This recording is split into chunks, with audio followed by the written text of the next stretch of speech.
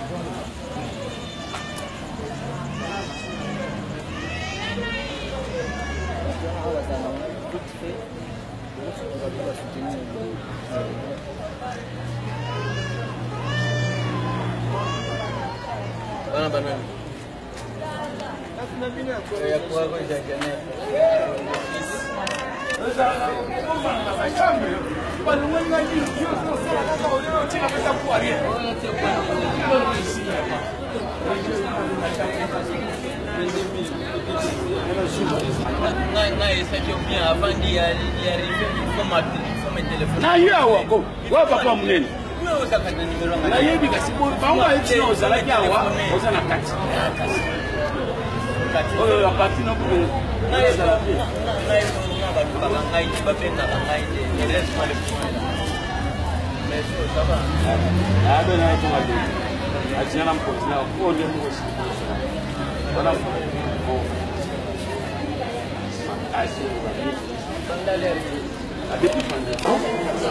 projet ya réhabilitation ya oyo esalema wa papa dengi na ntango akendaka israel ntango akoma kuna batuni ye est ce que yo oza mwana simon kimbangu réellement abike wi ngai mwana simon kimbangu bandimaka te abayebisaki non mpo toyeba pena koza mwana simo kimbangu mpo na biso mbula ebeta te betisa mbula ah, sikoyo mbala moko basalaka confusion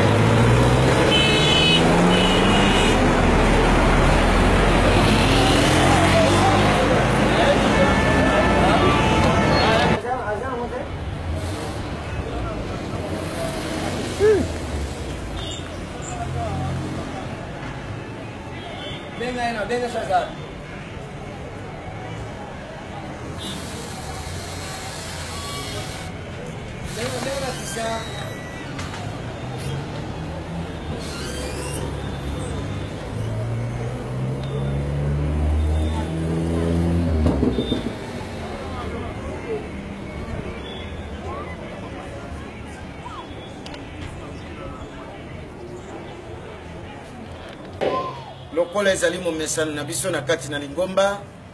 tokopesa nanu bambuta na biso mbote tosengi na bachef de mouvement bakoka kotelema mpo ete lingomba epesa bango mbote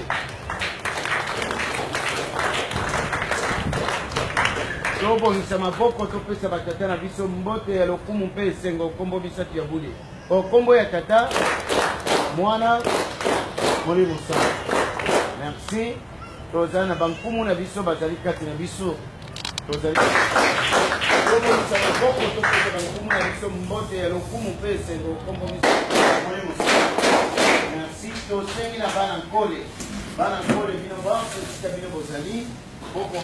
tobongisa maboko topesa bana nkole nyonso mbote ya lokumu merci na ndenge epesameli biso babandeli biso na mokanda ya mibeko mokanda wana oyo elakisaka presence ya nzambe kati na bato na ye kati na likambo wana na yango bokolimbisa ngai nasengi na papa secrétaire aya liboso acontinue nani na programme puisque nakei koyamba papa conseiller euh, ya mokonzi ya bule ye wana azokokita papa regen ayeli kuna epai na biso yo okoma ya nzambe tata mwana mpe molimo santu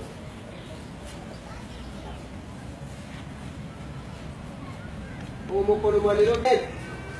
kuna nde bazwaki mibeko te ya nzambe toyebi malamu ete na ebandeli ezalaki ndenge nini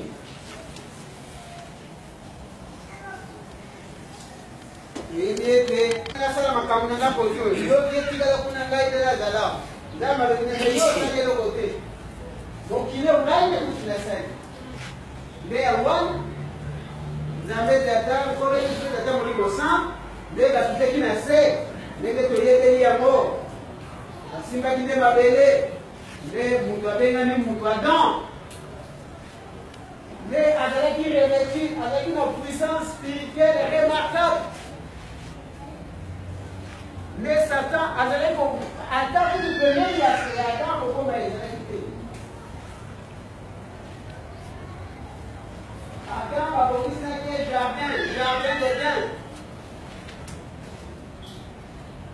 Kasi bapesaki nde mobeko moko.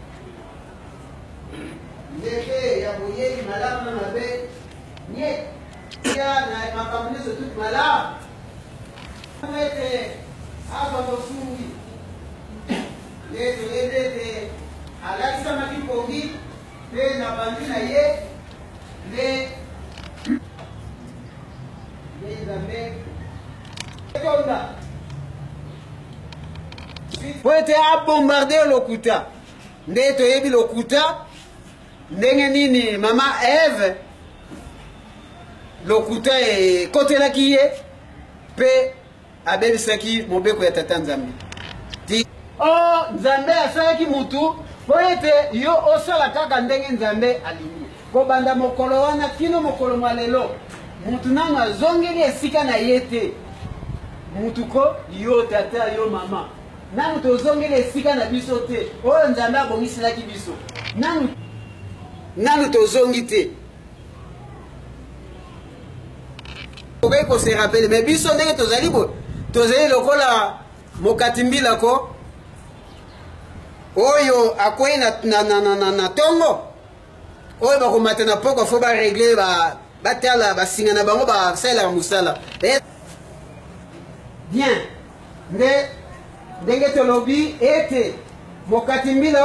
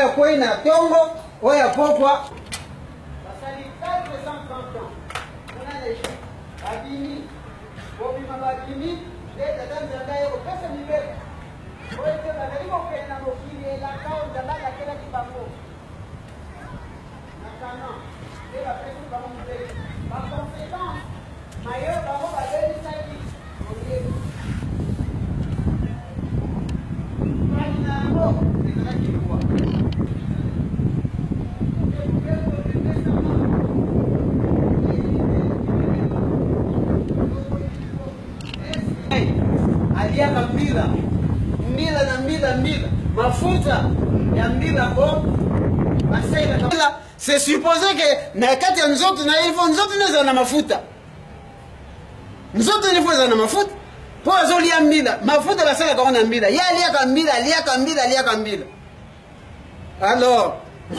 mokolo bapasolaki ekirei batali na kati mafuta ikeleve wana lisese nkumu apesaki biso banso elingi koloba ete mikolo nyonso bazali kotangela biso mibeko bazali kotanga mibeko eske na nzoto na yo tata na nzoto na yo mama eske mibeko eza kuna mpo ekirei baliaka na mbila aliaka na ye mbila kasi ntango batali na nzoto nde bapasoli bamoni na mafuta ezalaki nango te mpo wana chaser alobi mama somba kaka tomate lokola ye aliaka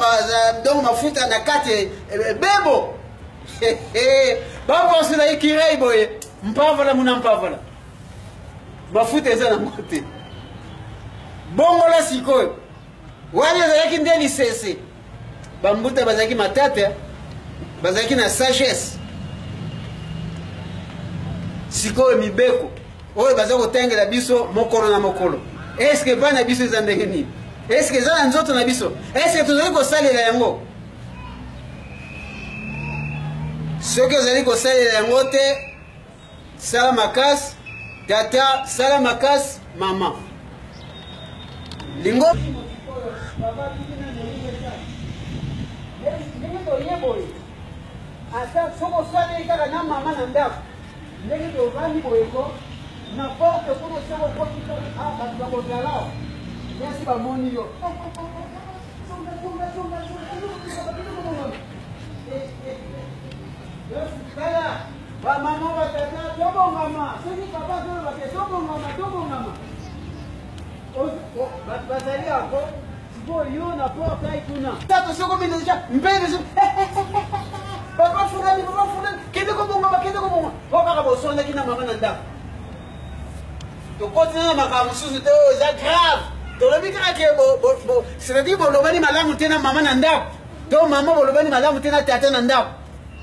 tozwi kaka wana ya simple me ntango oyo ye opesi kaka elongi na yo na portail wana awa deja bato bazali deja estce wana ozala soni te donc ngonga yango oyo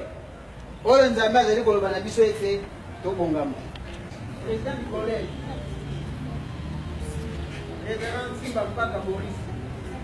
ayaki kotala bamalade et surtout tata représentant provincial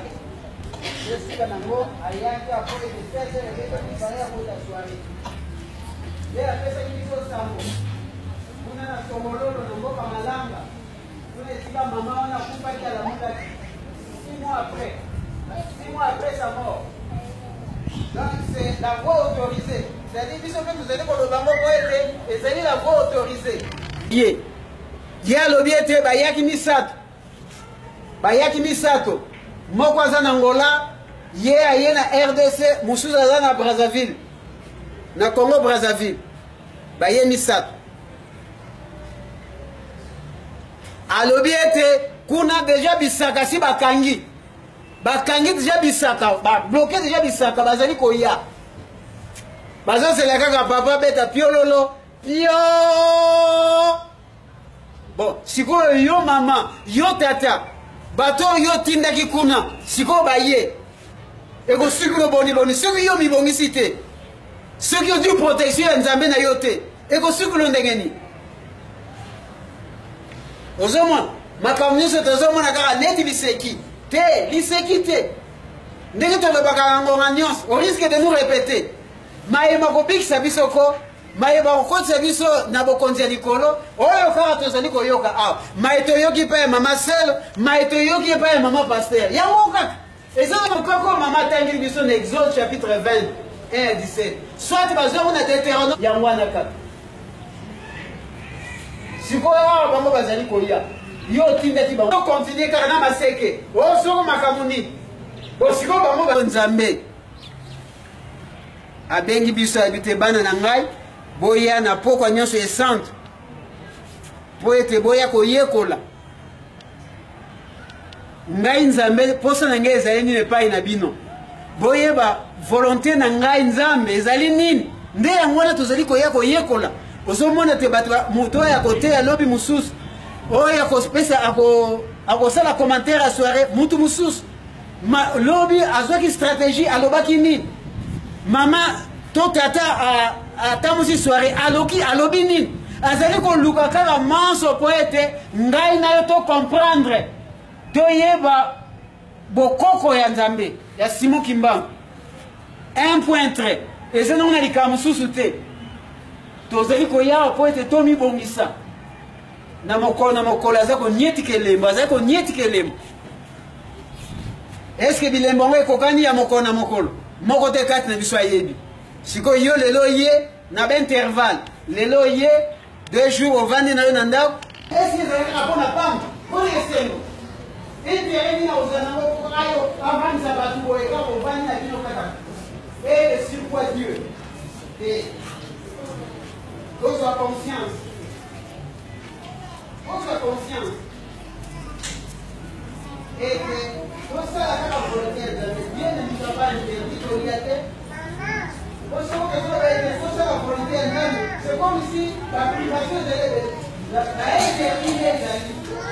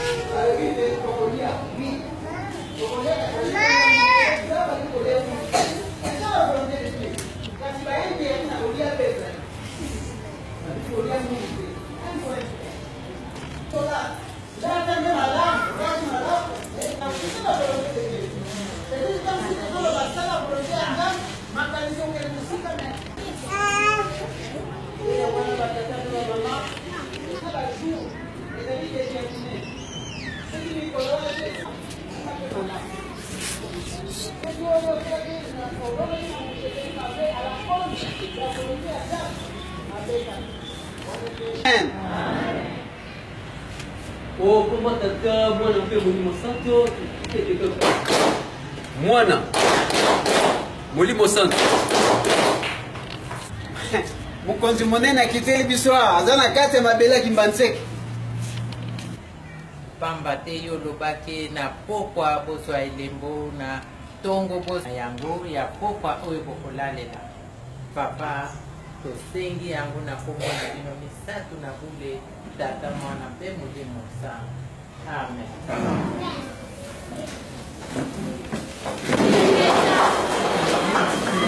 Mama Chika oyo akofungola biso lipongi.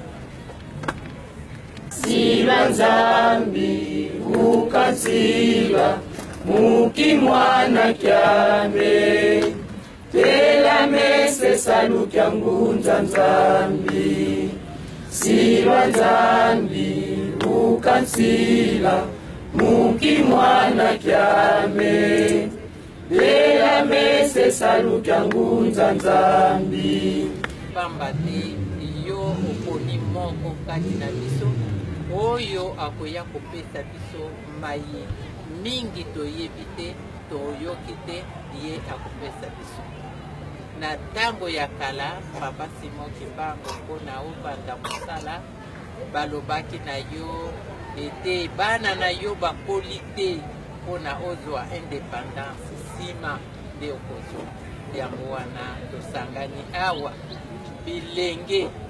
oyo oponaki balakisaki yo bango oyo bazali na maye bakopesa biso tika ete ozala na ye oyo akotelema liboso mpo na kolisa biso Zala mobateli mpe mosungi. Pesa ye maye akopesa biso mpe zala na ye elongo ebandeli mpe suka na nkombo ya Tata, Mwana, Molimo Santu. Amen. Amen. tokopesa na mbote bambuta na biso bokotikala kovanda tosengi liboso na batata nyonso bisika bino bozali botema topesa bino mbote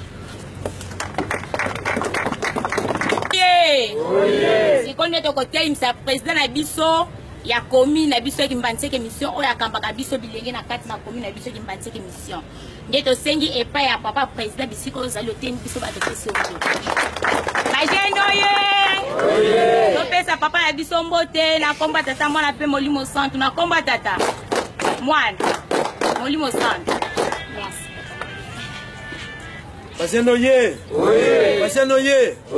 bajene oye Oye, oye, oye, espoir de l'église. na nkombo ya tata mwana mpe tata molimo santu na banza lelo ezali lendi oyo biso bazene tokosanganaka mpo tokoka kozwa maye oyo ekosalisa biso na mikolo ekoya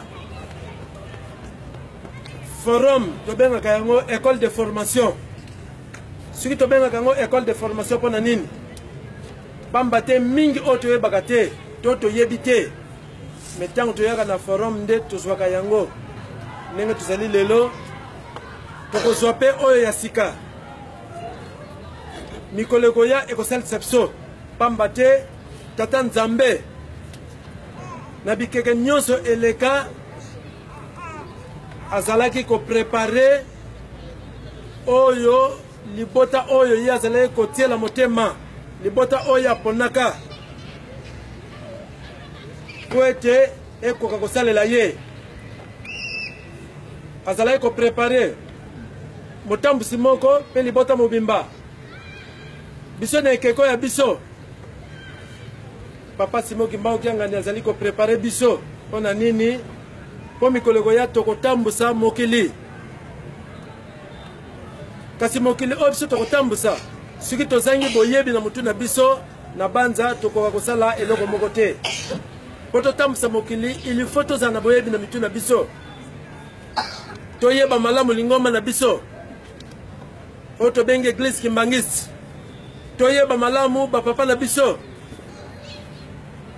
lelo tozwi ndakisa toza kobenga papa simo kimbangu kiangani molimo santu mpo na nini papa simo kimbangu kiangani azali molimo santu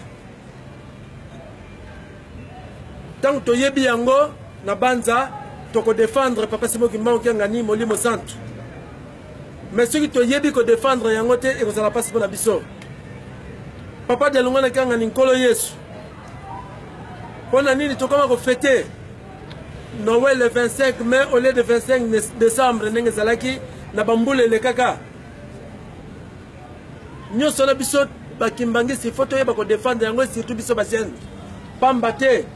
jeunesse ezali espoir de l'église jeunesse ezali avenir de l'église to avenir d'une nation yango wana papa simo kimbangu kiangani azali koprepare biso mpo ete mikolo ekoya tokemba tozala mire toyeba kodefendre lingomba na ye mpe toyeba kodefendre bango mpamba te tokotindama na mikili ya mosika surtout mpo na baoyo baza na bilembo kokende na mosika oyo bakokende bamboka mosika ndenge tomoni papa oratere na biso awuti mosika ye mava akende kuna awutaka awa akei lelo yeyo aye lelo akopesa biso matei akoteya biso akopesa biso oyo ye ayebi donc yango wana bomoni ke tobelelaka chaque fois tosengaka na bajeune tokotaka baforum totikalaka na forum chaque lundi lundi ezali rencontre biso bajeune tozwaka matei tozwaka bacommunication mpe baprograme mosusu mosusu oyo etali biso bajeune yango wana ntango toyoki mbela toyebaka yango ke chaque lundi tozalaka na forum tozelaka nanu te babanda koganga soit na bacommunike soit babanda koganga après soirée bajeune totikala te ekosalisa ngai na yo mpo oyo ezali école de formation ngai na yo mikolo ekoya tokodefendre lingomba oyo yango wana baninga ndenge bateyaka biso mutu na mutu na mayele na ye donc mutu na mutu mpe azala na mayele na ye mutu nyonso aluka ayeba mutu nyonso aluka ayekola mpo mikolo ekoya matei oyo ye azali kozwa ekoka kosalisa ye na banza toyokani na esika wana lelo tozali na badiscour papa asengi basiane ebele tomata na nkamba na ntina ya misala pamba te misala ya nkamba ezali kosenga main d'oeuvre papa asengi bajeune tomata ebele na nkamba tosengaki bajeune volontaire mais ti tokendeki na centre d'accueil réunion oyo ya vendredi toalaki kaka na 7 jeune na liste na biso oyo batalaki na bilili bamonaki donc nyonso tu kamera ya ratelki ezalaki wana ezali kofilme nyonso na banza papa paster communal papa nunu na mama paster batalaki yango baza koyebisa ngai lelo ke totalaki yo tolandaki yo na televizio kimbatseke miso basengaki biso dixième ou plus me na botali monene ya kimbatseke mission na cette cellule oyo toza na yango tokoki kotinda cette jeune na nkamba te baparoise ya mike mike basende na mike bazotinda plus de 15 heures na nkamba bongo biso oyo amoni ke azali libre azali na comportement malamu amona secrétariat secrétaire azali wana akomisa kombo biloko ya kolia etali biso transport ezali ya ofele makambo nyonso tu etali bino te yo okangisa kaka saki no soki mokolo ekoki okei mais faut koremplir baformalité par rapport na voyage wana to na programme oyo bozokendela misala na mboka ya bule na banza mpo na bajeune toyokani esika wana tolobi bien transport eza ofele kolia makambo nyonso ezali ofele alors mpo na musée bakatelaki biso 300 000 francs papa te misala musée misala oyo esalamaki oyo aye azwi asuki mosusu aye azwi asuki misala etambolaki malamu te donc serpente nyonso elongwaki batole nyonso elongwaki bachanzaki serpente mosusu batole mpe lelo ndenge tozoloba boye ekipe ezokɔta jeudi eza kobima samedi baza kotravaille butu moi butu moi tosisa misala ya misie wana basiano ye nabanza toyokani lobi tozala ebele na njili mpe totia na mitu na biso ke tozali na mongambo ya programme ya inauguration ya musée na voyage ya nkamba mpo na misala ya nkamba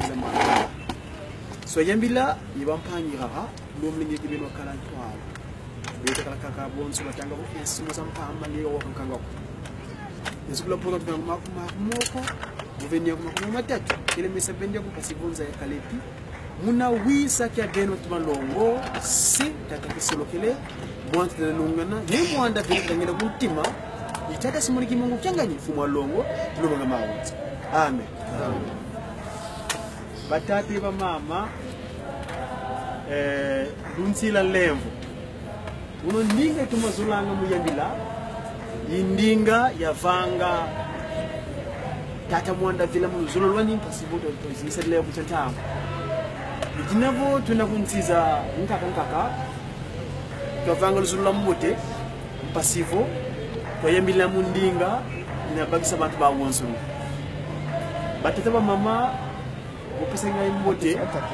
ngai mpe nakozongisa bino mbote oyo opesi ngai na nkombo ya papa kisolokele papa dialungana papa denge na motima nako papa kisolokele papa dialungana papa denge na motima merci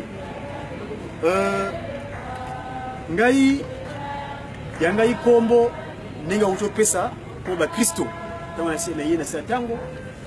bengi godefroi wana eza na monoko ya bapaya ntango nake mikili ya bapaya kuna na paris esika nakendaki classe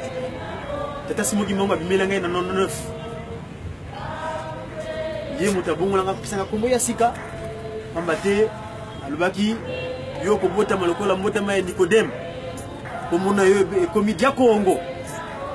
yango nkombo na bandi nakomi kosalela mpumbwa midia kongo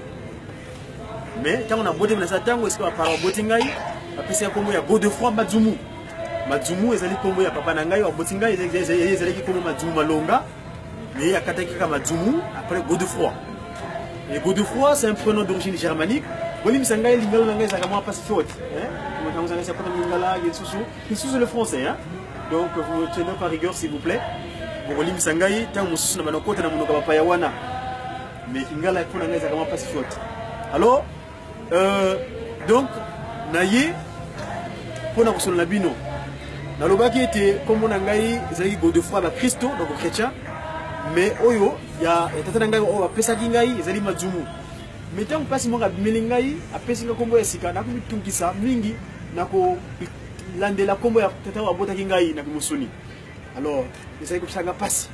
mokolo mosusu papa diangenda montima abimeli ngai na 2003 eh, komitungisa te nkombo wana ezali kaka titre na yo napesi yo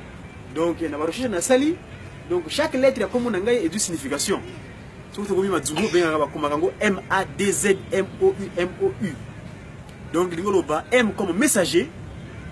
a comme africain d comme divinement z comme zele euh, O comme pour officialisation, U comme l'union, M comme matériel de l'ordre universel. Donc, euh, ezali oyo na lingala lingolo peut-être na ko na ko na ko ko ça c'est lango. Euh, moto oyo awuti na Afrika azali na bobangi te ya kolobela makambo ya Nzambe Pamba te, posa ezali ete bato basangana esika moko oyo ekomonana mpenza mpenza mpenza na botindami ya botindami ya sika oyo ekoki ordre universel oyo ya mokili mobimba me ngai na barushani nalobinga ordre yango kuta epai mosusu te ezali kaka na yelusalemi ya, ya sika pamba te nzambe tata ye mpa kisolokele ntango atiki biso na mboka ya villevante alobi ke ngai kisolokele Mokolo akokende kofanda na kiti na ngai ya bokonzi na Yeluselemi, mabota manso bakomata epai ya ngai kisolokele mpo bazwa mo mobeko. Donc voilà, euh, na mokuse mwa signification na kobengama na ngai ndenge babengaka ngai oyo eyebani mpenza mpenza mpamba te nasalaki mpe na kati ya rateleki kuna na paris epuis presse donc euh, service d'information kimongis donc la radio télévision kimongis euh, dia congo pamba te wana kombo ya papa Simon Kimbangu tanga na botami na yamba na ye voilà donc euh, nazwaki thématique ya komituna moto mwindo tomiyeba bandeko na ngai liboso na banda nakozwa kaka ye wana papa kimbangu ya mibale bolimbisa ngai eza na kati ya telefone eza mpe awa me botia mwa attention na matoi Parce que wana sikoyo moto akoloba ye moto apesi biso mokumba ya kopanza sango na ye alobaki bango ameli biso sango ya kolo yesu me bino kuna mikili bokomela biso sango ya ya ngai kimbangu pamba te ngai nazali tata ya kolo yesu ngai moto nasali kolo azala voilà papa ndenge nazoloba ebisiko kolanda Oyo papa denge nazo loba. Zoyoka na te hein. Na ko papa denge nazo loba. Euh, okozala na ba titre na yo oyo eleki. Otangi lokola biso tangi kuna na ba université. Okosala makosa ya ndenge na ndenge. Apesi ba titre soki ndenge ndenge. Mais soki omiyebi te,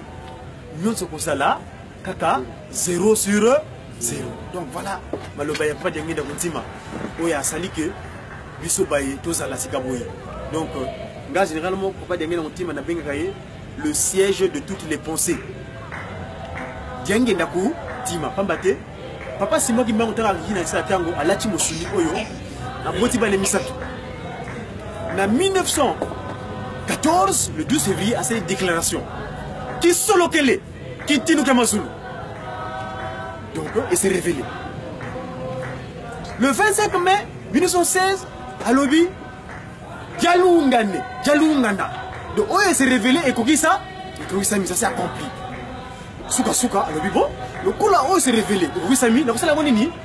eke na ngai na mo na motema jangenda ku kuntima o biso batutaki classe le cœur na oyo etali biologie nzoto ya moto ezali sanduku ya makambo nyonso nde nazoloba binososolola boye nakobimisa liloba na ngai ezala ya solo soki esali ya lokuta me kaka oyo motema ayebi na molimo donc sanduku le siège de toutes les pensées yango très souvent euh, ntango na developaka ba recherche na ngai parce naza chercheur naza mpe mkwa mazai nazali natangi mandombe papa wa beladi ompayi oyo oh, papa simoni mongo apesa mokumba ya mandombe ntango azali na poto sozo yamba ye partout azokende ntango akomaki france akombala yambo na 2003 ngai nakataki mosala nazwaki congé nde bobengaka congé sabatine natiki misala wana ya oyo ya koluka ngai moko naefuna batama na moto ya moto oyo donc totamboli na ye ti azongi à chaque fois soki na poto tozotambola na ye donc naza mpe nkwa mazai ya mandombe donc euh, nasinyaka mandombe naza mpe secrétaire ya mandombe kuna na france donc naza nkwa mazai donc euh, et puis chercheur donc kimbangologue c'est-à-dire la science de kimbangu dans le cadre de recherche là yango na tosololaki na ndeko eder en tant que ndeko ya presse papa eder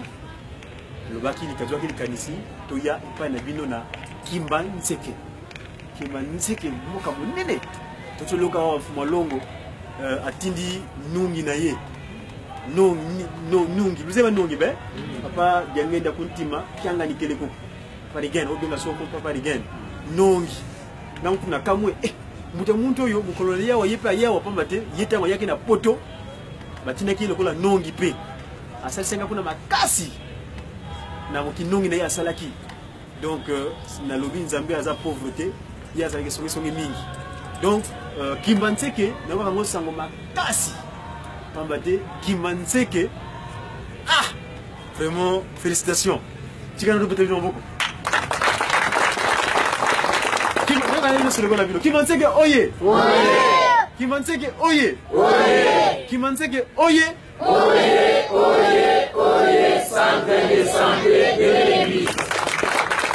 centre de santé de l'église mais nayoki tata motambwisi na biso awa tout à l'heure kuna libondeli batindaki ya papa mfuku nongi wayaki awa baloba bino boza be mieux musée kumbe kuna na yelo seli papa molongo azali kotonga musée ezali esika bakotya bokoko na biso bokoko ya tata kimbangu sikoyo bino mpe bobengi babengi bino Mizi. Okumba. Eza ko eza esengo. Tozala na esengo. Pamba te ngai ntango apresaki kuna na ujiki balobaki jejeki nazala kusolo ya jejeki me na cadre ya recherche nasalaka wana koti sikoyo na masolo na biso nalobaki tomiyeba obona koloba kaka boye boye bobo se retrouve Euh, tango tata Simon Kimongo abimeli ngai na Paris na 99 témoignage eza molai nakolobela ngai awa te parce que toza ba Kimbangu ya mike mais alakisaki ngai bonene na ye pamba te amemaki ngai ti esika mokonzi ya poto afandaka ndenge toza boye otelemi na yo okei okisika ngalema esika mokonzi na biso pa kabila kamanga afandaka mais okopusana te okobete masasi pamba te okomona ye ezoki ndenge nini mpe ngai nguya oyo mpasi mwa kimango asalaki na kati mosusu na ngai nakolaki na kati ya sika wana ntango natikaka lokoloba na kati ya cour esika président afanda bango nyonso bafukami élysée bref wana mwa lisolo ya moke eza molai na kobetela yango awa te motuna tomiyeba moto ya mwindo azali nani papa dangenda ntango yesu mutu ndombe kota toka toza na forum ya jeune jeune ezali na monoko ya lopoto ya lopoto na lingala nayebi te me ngai nasepelaka mingi na monoko ya eden ebaki congo monoko oyo ezalaka ke avant bakoko na biso basala meba biso tozali koloba kaka monoko moko ya kikongo mbeba eye ndeko eye yango alingi tolingi alingi akende azongisa biso kuna na kolombimbi mpo azongisa parce que na, na le 29 juillet 52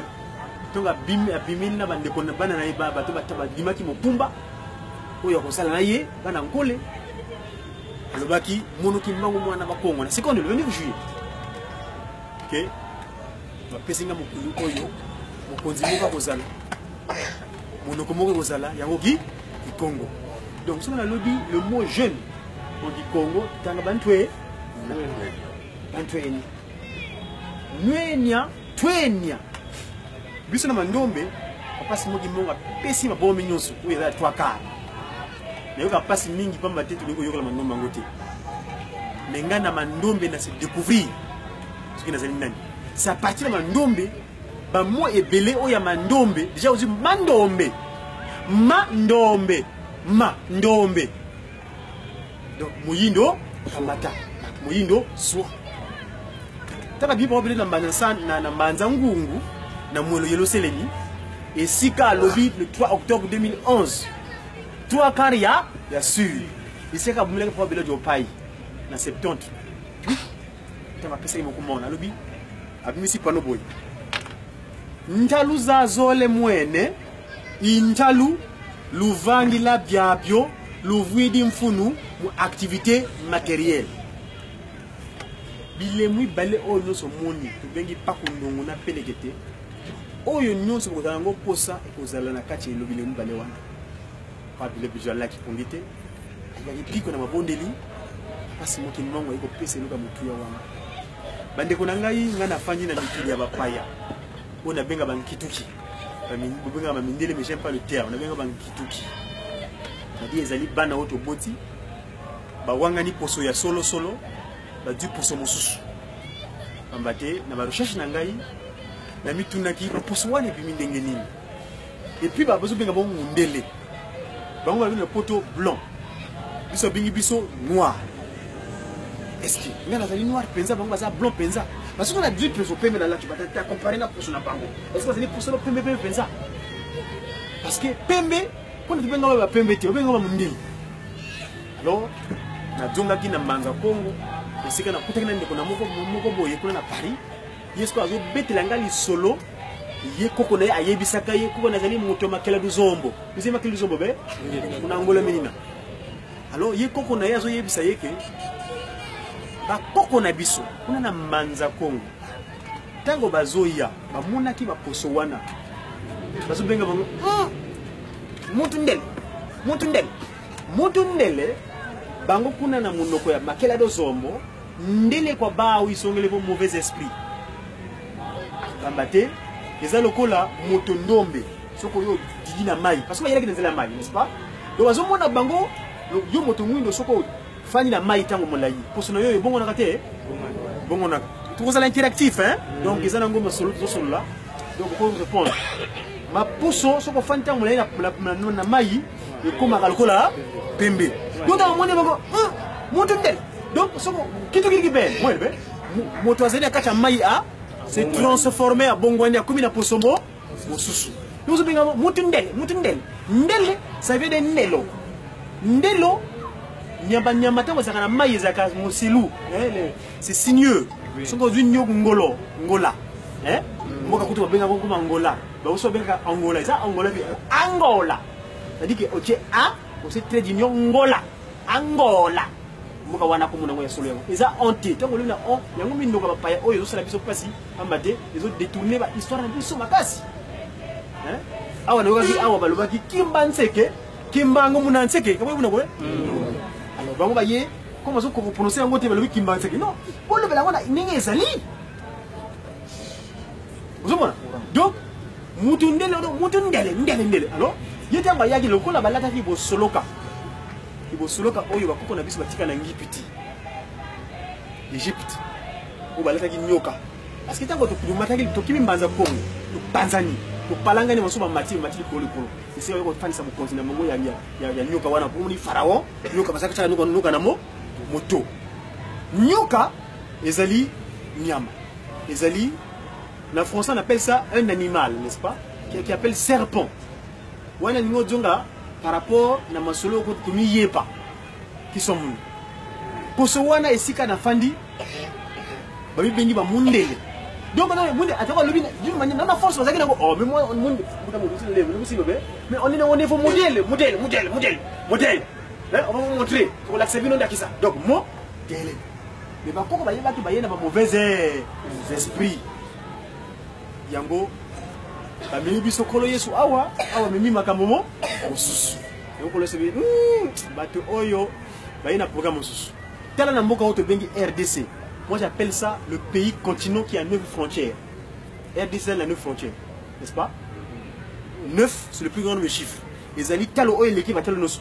soki obandi kokonte ebandi libungutulu donc bino mpe na zero na français eh? nkatu ezalaka rond wana kutu soki okoti na mandombe wana biso na etango ya pasi maki mbango oyo ya mandombe apesi biso ezali libungi tulu te ezali rond te ezali bango misato ya bule parce que ezalaka triangle équilatéral wana koti mandombe bandongo bazali awa bandongo bazali awa batangi mandombe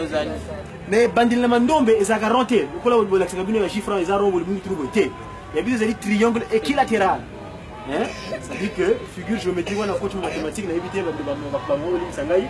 ezali soko otali premier poste ya kala kaka boye ndenge basala travaux kuna avant olmata marche ya eh, marche ya nkamba na rompo wana ezalaki figure moko ezalaki triangle equilatéral ebandeli wana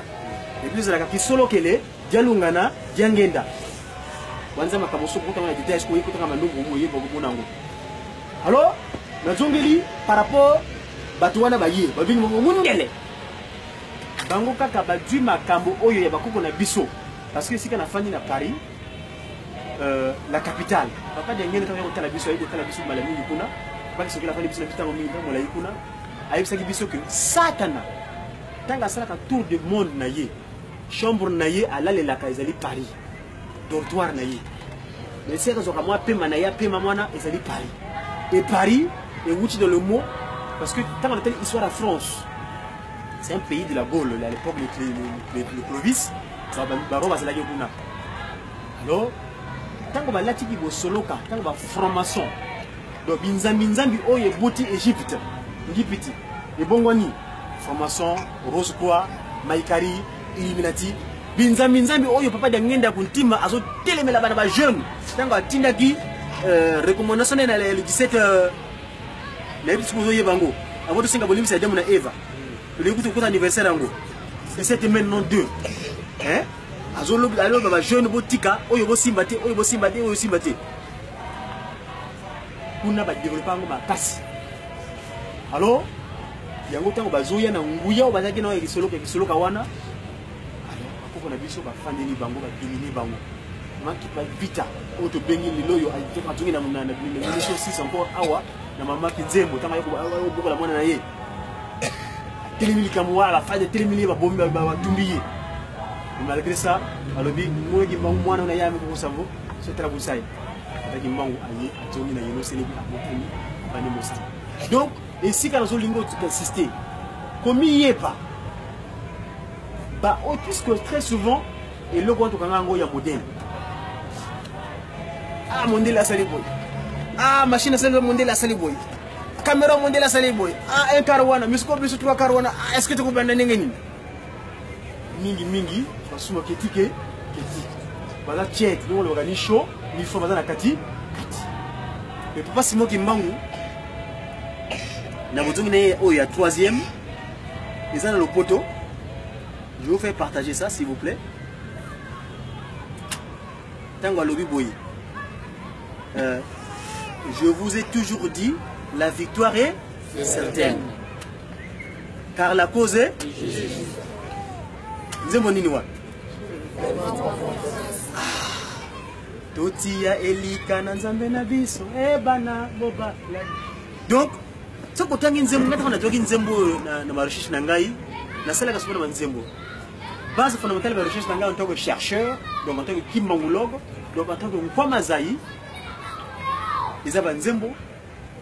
mokanda bo moi biblia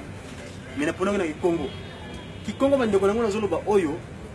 ngai esika nayelaki na saa ntango na mboka babengi kongo ya, ya baformation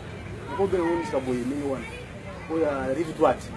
yango baza kosala mobulu bazobengela bandeko na biso ya nabotami boye nayeba ndenge akomi wana te nasibila kutu makasi na mokamba te Kongo de malu. Mimi malu kuna mimi. Ebandeli ya ma ya makambo. Kongo ngana bengo Kongo mbanza kimbangu. J'aime pas le terme Brazzaville. Awa bino bosalaki makasi bolongoli Leopold ville botie Kinshasa ye Nsasa ki kimbangu mais kuna na live droite bango bosoloka elati bango mingi baimage ezali po bakosepela na yango na kodispose yango na manoko ya prince bozwa oyo ndenge ezosala mpasi na soni bref babosoloka wana oyo bakoko na zombi na kongo na ntotela mutu ndele ndele mauvais esprit mpeve za zambi mpeve za bu buzimbu metataki mbangu nkolo yesu apesi mosala andimi yango eto akimaki boyebi histoire na pele wana te fin de fin nakosukisa intervention na ngai si vous permettez na eloko oyo papa simon kimbangu azotelema na kati ya yelusalemi 5 mois les 5 mois mponi kaka 5 mois tata kimbangu na likuta na ye ya liboso wa kimbangu ya liboso wana asali 3 mois na 2 mois na kati ya yelusalemi pamba te Sila vile bani mosala le 6 juin yo wana kuna kwa kilintini kamba tete na kokasa kile bite afandi wapi na mbanza sanda sanda oto bengi samalia ya sika afandi kuna 3 mois soki ozwi 2 na 3 epesi 5 les 3 glorieux nzambe tata kisolokele nzambe mwana jalungana nzambe boni mosali pa denge na kotima mpo na koya kozongisa avant basenga bazongisa biso bato parce que tokomaki banyama wana mandombe ezopesa biso bainformation wana tosola mwa moke bafandi 5 mois na kati ya yelusalemi 5 mois nasalaki yango recherche ebimisaki ngai eloko oyo ozomona foto oyo no eza yango ozomona liboso ti eh? baza yango mitano te soki ozwi ye komoki isolokelo mosuku omona ye dia dialungana mosuku omona ye de diangenda mosuku omona ye ki imbangu mosuku omona ye mama baparon wana baparon aboti botala bien baparon mosuku omona ye nani ah, moni komo ozwi bokenda mofuta kabetela ko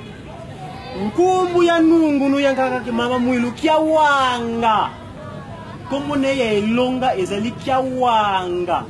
yando akele wanga ngiambulu za mfumu yesu ete ataki mbangu mofuku dia le 5 le 6 ntango nkolo yesu bazosona mpasi moki mbangu apese mosala parce que akimaki efe nefe ayiko kondima me na butu oyo bazosolola Ye mamu ila azo mona kaka bato mibale moto azo solola le vide. Mwasi ne ah, ngwa. Mais ozo na okomi libomo ozo ye moko te.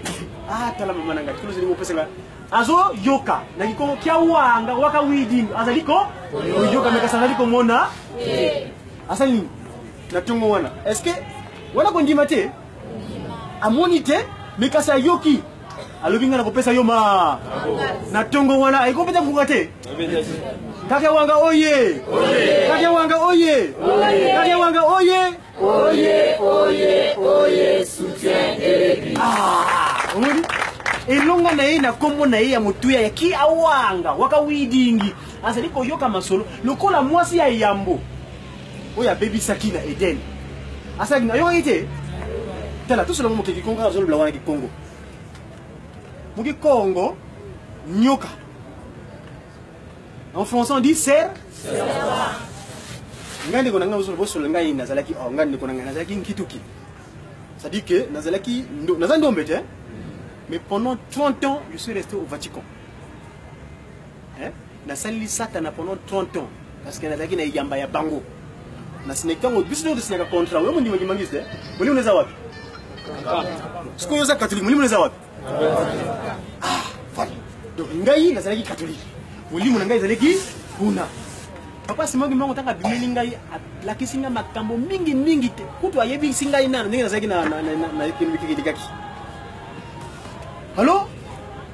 Mama Mwilu,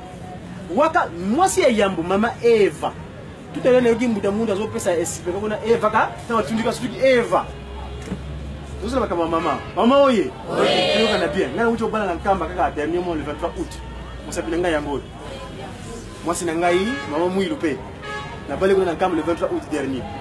Sikoyo ndenge nalingaka ye mingi, nalingi makasi mpenza mpo mata azali ya ngai, auti epai na ngai.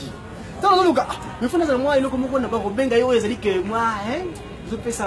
mwa gu moko boye nakolukala ye komoni biso loka sheri mabele soki ndenge wana na monoko ya paya soki nga na buli na recherche ah mais kaka e adamu balobaka babaka visi be visi visi sabonki c'est la cote eh tala monoko wana kikongo sikoyo nalobaka c'est la langue scientifique c'est-à-dire monoko ya nzambe visi visi pe me ntango adamu asutukaki soki ozwi visi na bandeko ya mandombe aye mankondwenga soki ozweli pakundu mabonganaka pelekete pelekete mabonganaka pakundu soki osali teknike wana ya symétrie parce que na mandombe tozalaka na deux principe principe ya rotation na principe ya ya miroir soki ozwi visi obalolo yango ekomi nini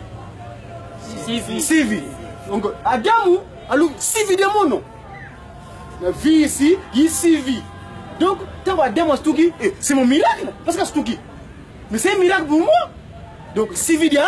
y a mon. Et comme il y a un miracle pour moi, moni, mandombe.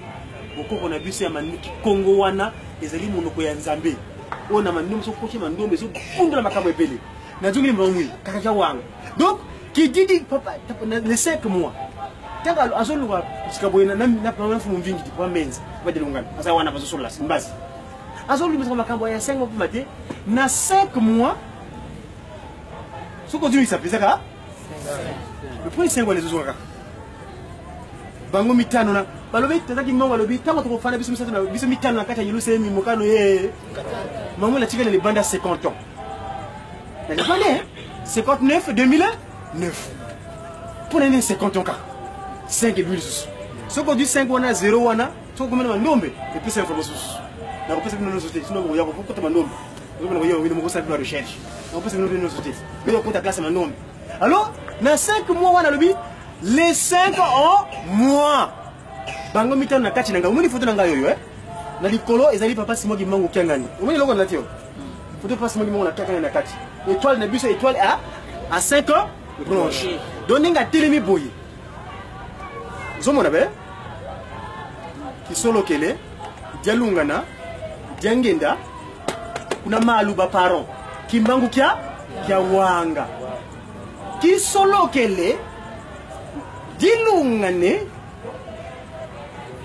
tiangenda kuntima kimbangu kya wa ya wanga ye wana mpasi mo kimbangu kiangani mpungu tulendo oyo bakoko na biso tala mama eva makambo asali tozongela makambo ya monoko wana nyoka ya ntelele nyoka ya ntele nyoka alobaki te balobi na français le serpent parla a eve nyoka eve asali ayoki malo maloba yango asaleli yango me na kikongo balobi nyoka ya ntele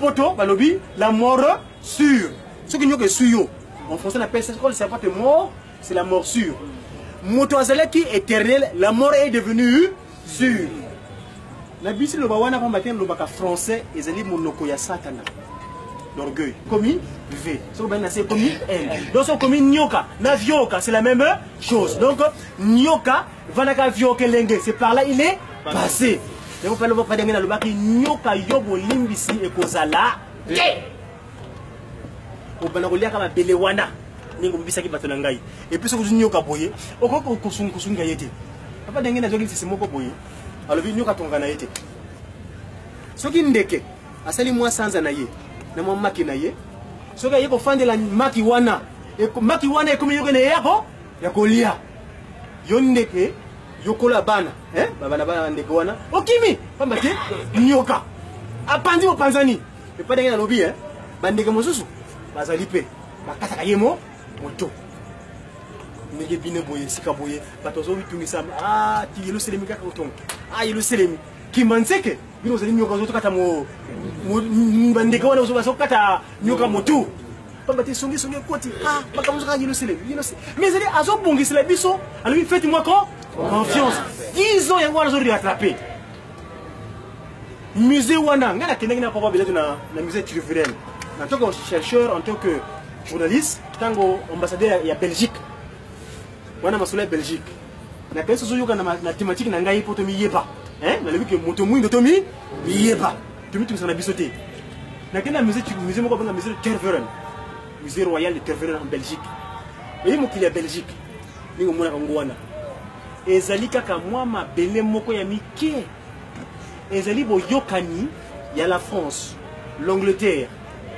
na allemagne soki obongola ezalaka ça vient du mot belgique la magie de belgique la magie de bale oyebi bale non mm. na bible ezali magie de bale belgique ça vient du belgique la magie de, de bale bosoloka nyonso yango omonaki batyaki roi wana aye kozwa mokili oyo ya nzambe lokola propriété privé na ye hein? bref nakosukisa mpo mituna mpe kozala mutu ndombe babengi biso noir ngai naza noir te epuis ntango baye babenga o oh, une fois ntango ozotungisaka na poto kuna bazokanga ngai bazotyaka baminote mpo na makambo mikanda parce que natosaki loba na bango te bango alobaka soki oke kuna fo bala mondele fo bota kuna bana mingi bazobunga lelo mpasi moki moko alobaki alobi bajeune bakokende mimingi bakozala nkuta mindele la croix de blanc akenda mikili sokisango oyokanaka te batabala kuna balo bango balobi kozwa mokanda me bo bakidi nkanda bokebela mpe sobele mpe kanda donc mingimingi bakoti na piège wana kosangana na mikili wana josué 2311 bazokoma na bible banote verse biblique oyo nga papa denge na kotima abimeli ngai apesi ngai josué 2311 oyo alobi ke ngai nzambe na bino wana azoloba na bayuda nalingi bien kobimisa bino na pasi mais soki bozosangana na bato ya mikili wana josué 23 de 11e jusqu'au 3e verset à peu près ekozala pasi mpo na bino bref bana mingi bazobunga ngai mpe nakotaki na piège wana namilukelaki te ezalaki jeune te mpo namilukela mpe bango na mobeko balobi soki okomi na poto kozwa mokanda fo bala kuna fo bota nsima bana mingi baboti kaka na nsima ya ekumu kaka ndenge wana mpo azwa kaka mokanda nzoka nde yake bo ngai naza na chance papa diangenda kontima alobi na ngai ngeye kemba kinosa kota ko yango azongisi ngai na mokili na ye elaka azongisi ngai dia kongo parce que l'époque j'étais mgr de Jésus donc mutu bateka soko azongisi ngai na mokili na ye ya sikisiki oyo tokozali ke ntango nakozonga boye ndenge nakomi mobimba na ngai nazalaki nga moko soko nakomi mobimba na ngai hatata mambo esi makale alors eh, yango ndo tozi ngai naza noir te ndombe ça vient du verbe ndombele ndombele bandombe bandombe bandombele le bato basengaka mingi on est un peuple déiste on est un peuple qui croit divinement à dieu donc nous prions nous prions beaucoup et beaucoup beaucoup énormément prier c'est demander n'est-ce pas oui. donc tobondelaka mingi tosengaka mingi yango tozali bandombe bandombele les demandeurs c'est pas ndombe le cadre comme moyindo mabe kaka ti te esila le 24 décembre 92 tosengi bolimbisa ndambo ndoyo te c'est fini ça sika boye polomaki ndombe ezalaki tuka mu mundele mundele ezalaki tuka ndombe bandeko na ngai makambo eza ebele bref mpo na kosukisa papa simon bimankanga alobi faites moi confiance je vous ai toujours dit la victoire est certaine faites moi confiance car la cause est Juste. Faites-moi confiance, faites-moi confiance. Pratiquez seulement les commandements, l'amour et le travail. bandeko na ngai kaka manombe mobeko eske likolo mobeko ezalaka ezalaka te na likolo soki olongi na mobeko eza kuna mobeko eza te kuna bolingo mobeko eza te misala eza te kuna so olongi parce que moki kongo kaka monoko kongo nsiku kunsi kaka na se ya ya ntango papa diangeli ya motima aye kokotisa di commandement na kati ya église kopena kotango tous les jours na 1958 mpo nini na 85 plutôt pourquoi seulement 85 parce que 85 ezali 58 58 année oyo atangisaki makilo na ye ya ya talo 58 wana bango misato bakufaki na bango babongolaki esika moko parce que bango misato bazalaka moto moko moko kobongola bango te donc sese wana mpaki soki elasali action ya luku ya lukulu akufi te azobondela ndeko na ye papa kisolokele nzambe tata ayoki sango te leki na nga a ah, azali ka apuse kri ta eloko wana ememi ye ti le 17 mars na 92 bongo ndeko ya butu na ndeko na ye mosuwana papa dialonga azalaki te azalaki pamba te tikuluku te ezaki na nini 82 voilà 58 yango ezozonga epuis ye atiki mokili mibu tuku mwambe na mitano asaleli kati na bakongo alongi 85 ans atiki biso ozoma unicité ya baélectron glorieux bazali moto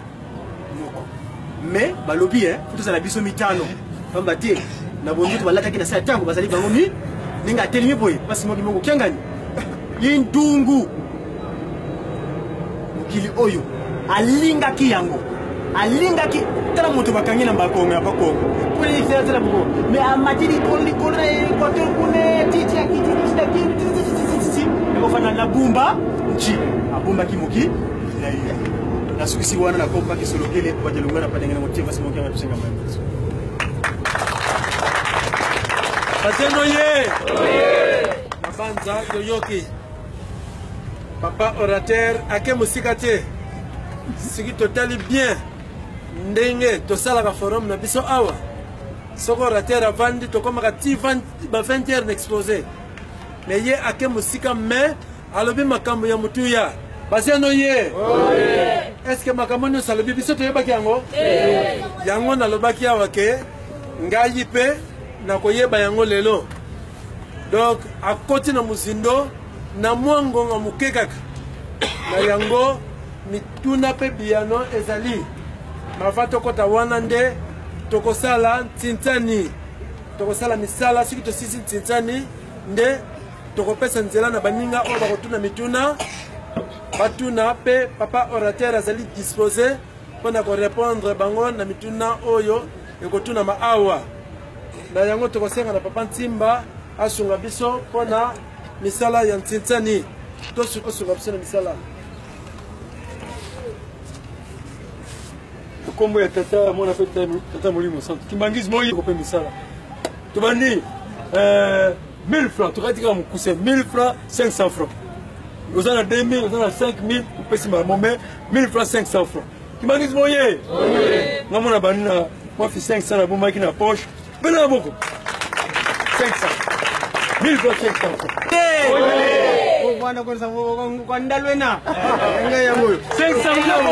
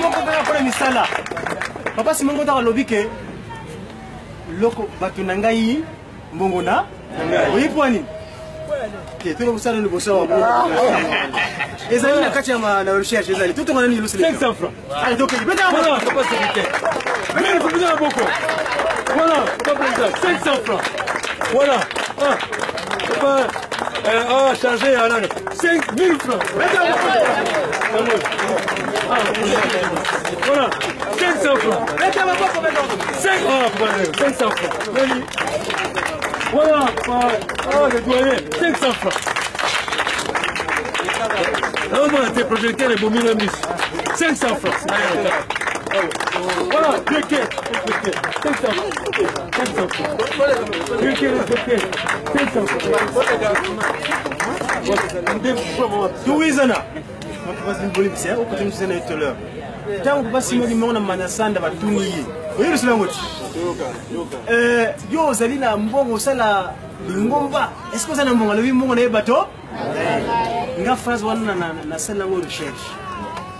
mpo na nini papa simba kimbangu alobaki mbongo na ye bato na ye oyebi mbongo na lopoto baloba ngo nini argent te argent toujours na kati ya mandombe kaka ndeko na ngai otanga mandombe nkwanduenga lettre t na lettre s ezalaka mvwala nini ezalaka mvwala moko te soki obandi na singi na likolo ezali lettre t soki obandi na singi na se ezali lettre s donc soki okomi argent hein? na donc argent avec jean ya bateau c'est-à-dire gens bateau hein? jean les gens bateau ozwi bakaka na controle mandongi wana osi kosangisaka kokabola basilabe ar et jean art euti na artiste moto asalaka eh? moto azosala jean art jean donc insalulu awa bantu esaleli ya bato yango abengi argent ezozolanda argent nsalulu a bantu esaleli ya ya bato donc mpasi moko taloki mbongo na ngai esaleli ya bato na donc ntango boyoka kima nseke botonga yeluse bobanga na mingi mpamba te bozali basaleli ya na na ye mpo basalaka bazwaka nini ifodi te yo ngana na ngana sala ngana osala minere kuna l'époque mais soki osigne kuna kutu bafixaka montant fixe c'est à dire que minimum ntango osali loya bakangi date montant yango minimum soki oza kaka agent employé kaka boye bafixe to horaire oza na 7 euro bafuti 7 euro par heure osala wana basuti 7 euro bango tafixe yango mais oyebi énergie ozobimisa te moto ako evalue énergie ozobimisa na kati ya mosala na yo te est ce que ovalue énergie vraimen ozobimisa ntango ozosala mosala na oyo azosala pele boye na ozokombola est ce que okokompare énergie yango okovalue yango te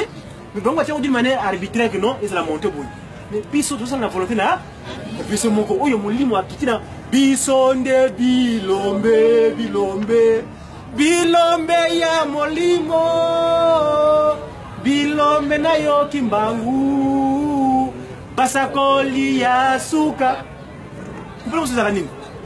dirigeant ozali awa azali oyemba te toye nde kopesa yo ma kobosani mosala mosala atoke toke wapi bango oyemba koboko yeki mbangu biso tozali nde bilombe bilombe oyokana sonda keno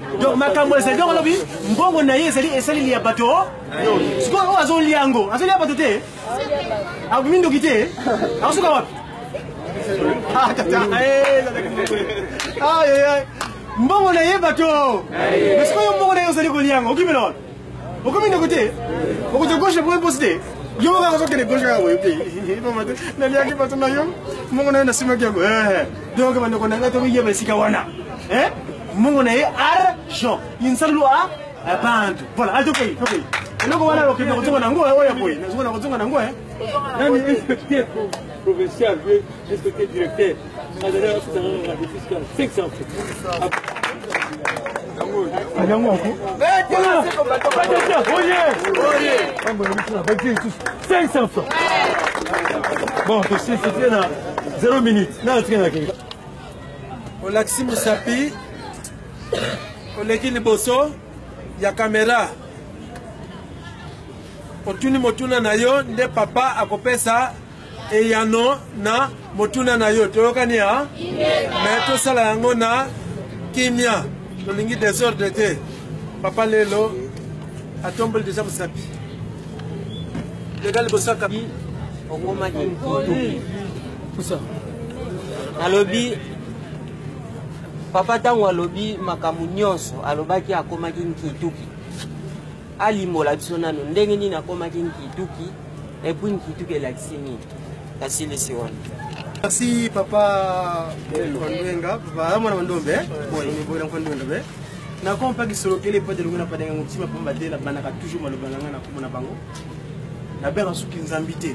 Parce que nzambi tant qu'on a vu ça ya yambo asali meba na ye papa papa molimo azoya bozali wapi ah nzambi ya mpungu tulendo mokili papa dilongo alobi mokili za mabe te biso tokomi ba nzaka ya mbiko donc mpepe longo obengi nzambi ya mpungu tu tulendo te ngai nabenga sunzo mwa nzambi wana te pamba te biso nga bolimbisi adongisa biso bokonzi na biso wana trois quarts ezali ya ya sur donc nabenga papa kisolokele wana kombo alati na zata donc nabenga papa wana kombo ya tata mwana inconnu nayebi komona bango te Papa, donc pour revenir à ta question, euh, Nabengi Kituki, ça vient du Congo. Muntu Kituki, Kituki dit, hein, transformé. Hein, maman Kituki nous va transformer. Nalobaki nazalaki Kituki ndenge nini Tozo botama, tozo kota classe.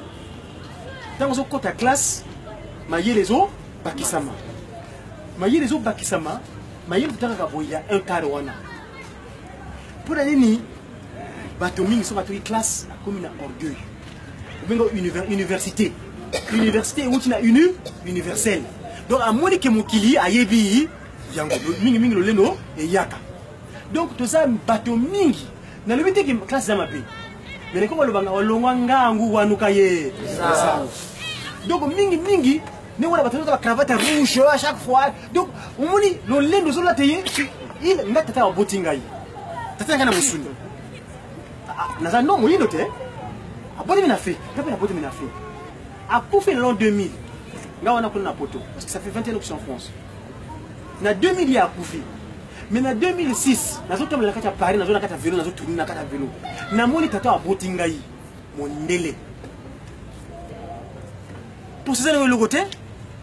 mais esprit ezali na kati na nzoto na yo ozomona moto mosusu lokola papa dengende azokisa endakisa ya ndeko na biso moko boye azali mpe mokonzi ya mboka oyo azobongwa na mondele azokende kolela na na restaurant azali mpe mokonzi ya mboka monene awa tokobetela mosolo yango soki bolingi na kobetela bino mosolo yango dvd ezali nasala biso dvd spécial tata wana na papa dengende akotiba ndenge apesaka ye mokonzi ya mboka oyo azobongwana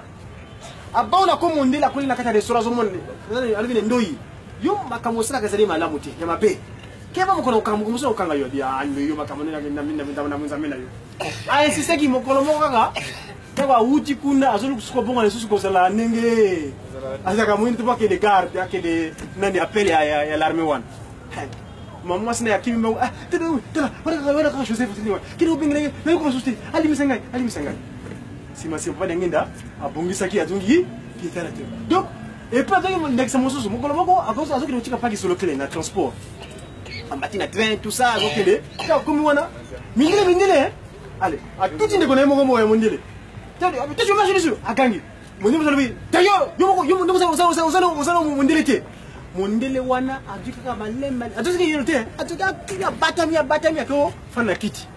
parce que baye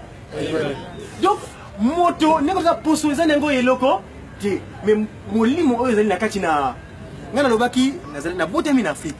mais par mes parents mama na ngai azali protestante mon père catholique de par mon père nakoti na na vatican ngai naza boye nazalaki nakosala yango orgueil te mais fo nasalapesa yango témoignage nazalaki mfumu nkembo ya kinza soki nakoti na piste nakopina yo ndombolo awa okima piste te nakomela masanga te mais soki nakoti na kati ya piste na boite de biso obenga o boite de nuit tala esika balobi boite de nuit nuisible esika ya mbindo sikoyo eske mbindo wana donc ozomona ozosala makambo oza su yo moko te donc okomi ani ma bato mosusu nazo ndekisa ba jaune sala forum ba jaune na monoko kikongo esika balobaka kosala ekobo te na lingala te me na kikongo balobi kuyangani ko soki ozokisa monoko ya lucifer ya français balobaki kometela pala na dilutere mais nga jeune ntango nazotanga wana pris na dictionnaire bakomi adultere c'est un homme marié qui se mélange qui fait chercher une autre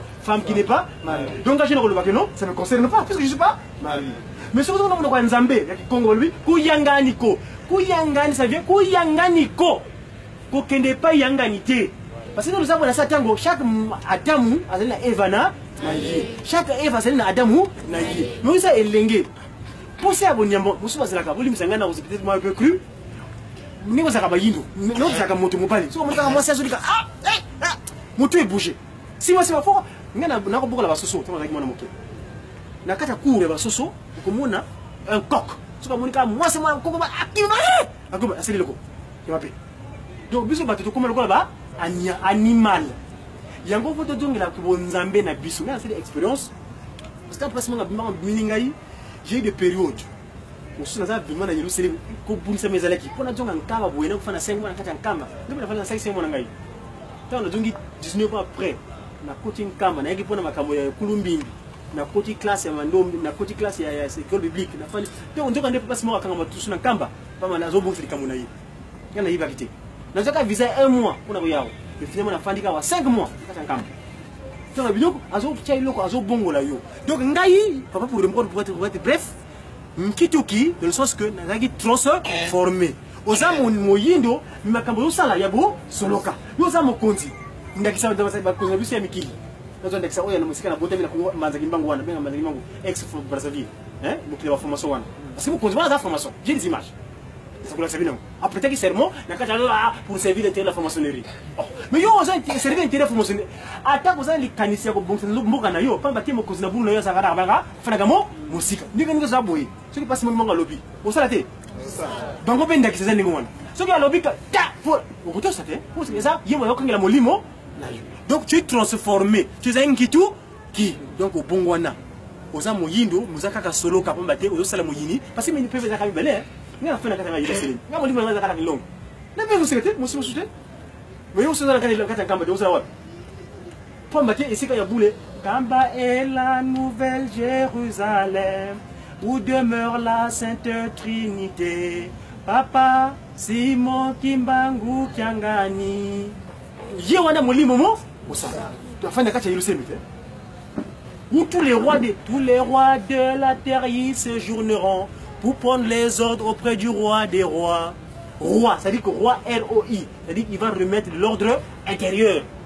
akozongisa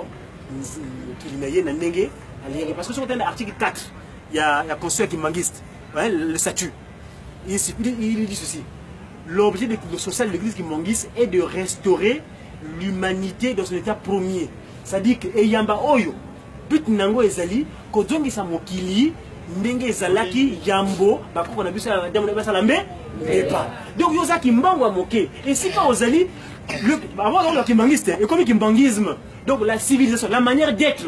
oza kimbangiste o oh, mouchoir na kaka na kati ya yamba te partout tu, tu, tu demandes de, de kimbangu tu kimbangu en oh, miniature c'est une manière d'être le kimbangisme la nouvelle civilisation donc voilà ngai na bongo wanaki nazalaki na bapaya papa dengene ntango akufi na salongo na ye na 92 biso milimo wana ekangamaki kuna atiaki biso na kaka seleke na ye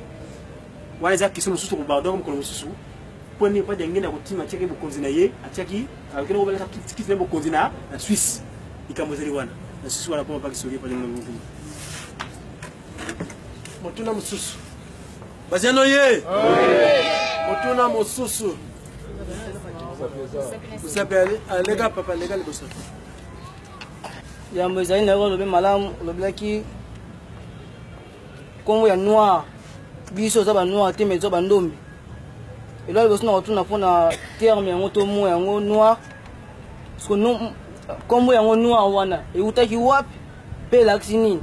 Wana motuna ya liboso. Motuna ya mibale obelaki fondation ya Belgique. Eza union ya trois pays. Nde obi elakisi magie de balle.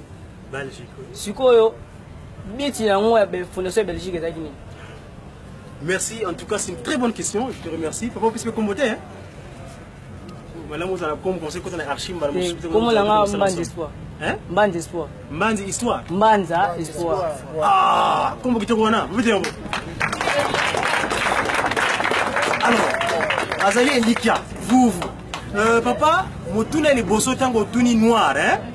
euh, noir euti na monoko ya français euti na latin n'est-ce pas en latin noir veut dire negriti et negriti en latin veut dire objet de peu de valeur hein? okay. objet de peu de valeur loba eloko ezangi ntina eloko ezangi ntina eza nini ntango tokomi bayini ntango toyokeli satana akoti na biso akomi osala kati na nzoto na na biso koyi bi bibulu nyama okoboma ye te eh? mwa mwa mungungi ya yewa obeti ye kufi neti asa ntina te pamba te aza molimo ya tata kimbangu te ala molimo ya nzambe te bokeseni mpo ezala entre bango ntango bayei epai na biso wana na lokade tuzi na monoko ntango bayei epai na biso bazo benga biso noir mais komona epa na bango eloko ezali ya valeur oloba avocat alaka toujours ya noir hein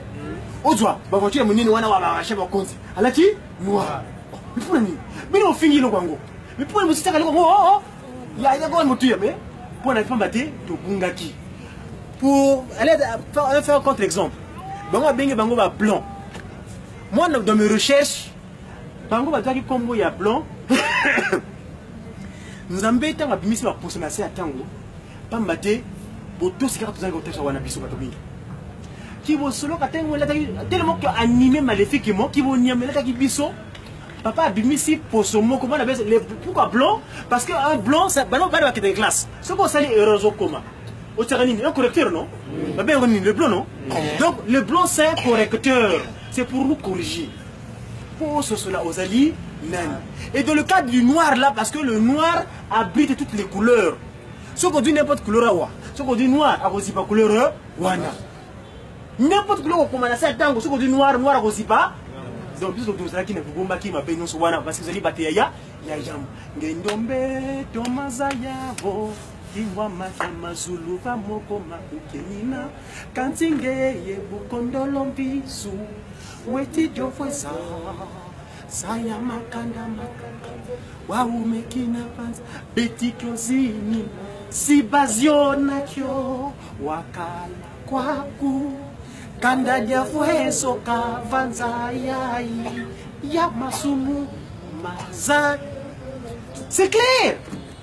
tala papa simon kimbangu papa denge na kotima ye papa simon kimbangu ebale alobi na kati ya banzembo na biso tokozala bato mi minene banzembo kaka pamba oyo tozwa na mutu ya mutu toyokani esika wana sikoyo par rapport ya belgique baldelibike ko belgique ça peine la onu iso bataka bataxe na classe yango te parce que wana c'est des secrets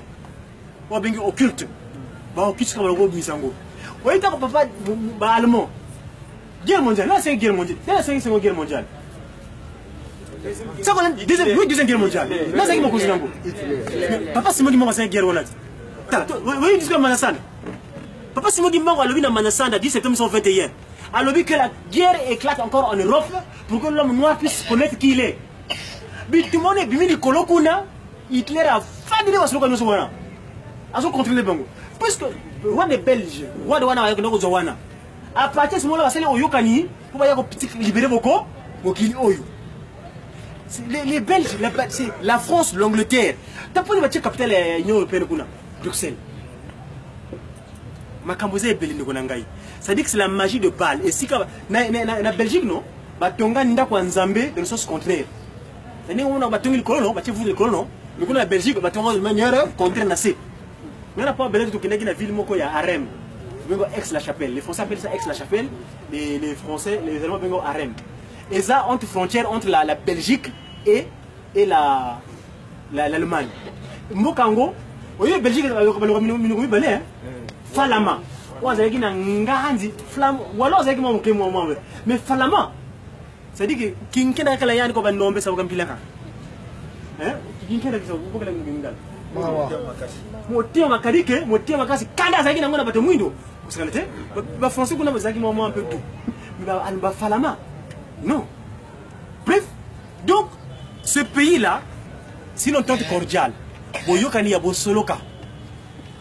Tango papa Simon Kimbangu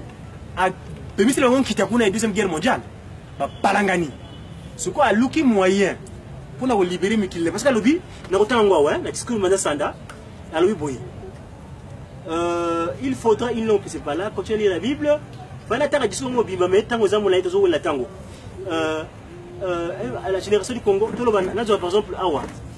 euh, à Louis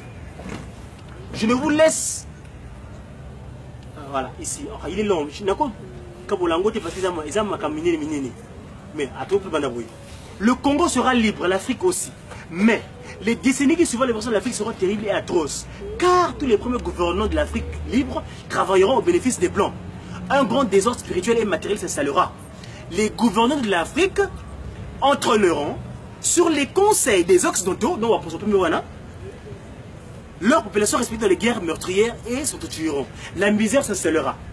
Tel ce qu'on Beaucoup de jeunes quitteront l'Afrique dans l'espoir d'aller chercher le bien-être dans le pays des, Blancs. ils parleront toutes les langues des Blancs. Parmi eux, beaucoup seront séduits par la vie matérielle des Blancs. Ils deviendront leur proie et il y aura une grande mortalité parmi eux.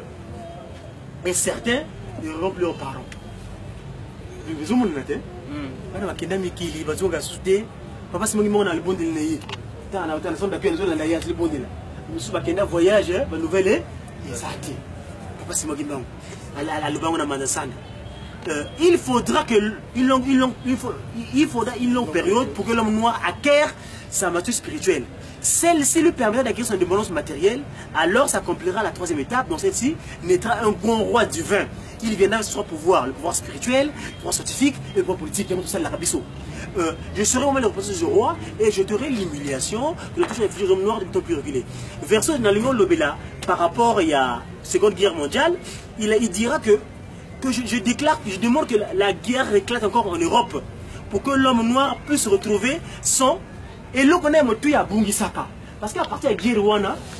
Congo Brazzaville na tuki panda pamba te de Gaulle wana za makambo na yebani bien te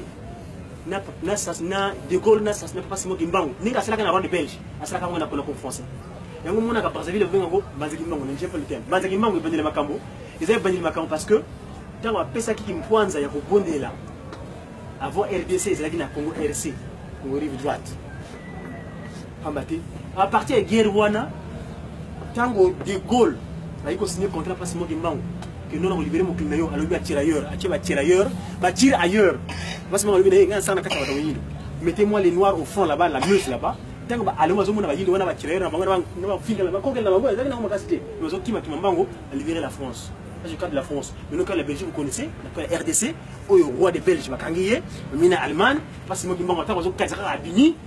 Azo kundula azo yebisa suite. Bref, donc papa Mbuta Muntu pona kobina musika molayi te, c'était ça.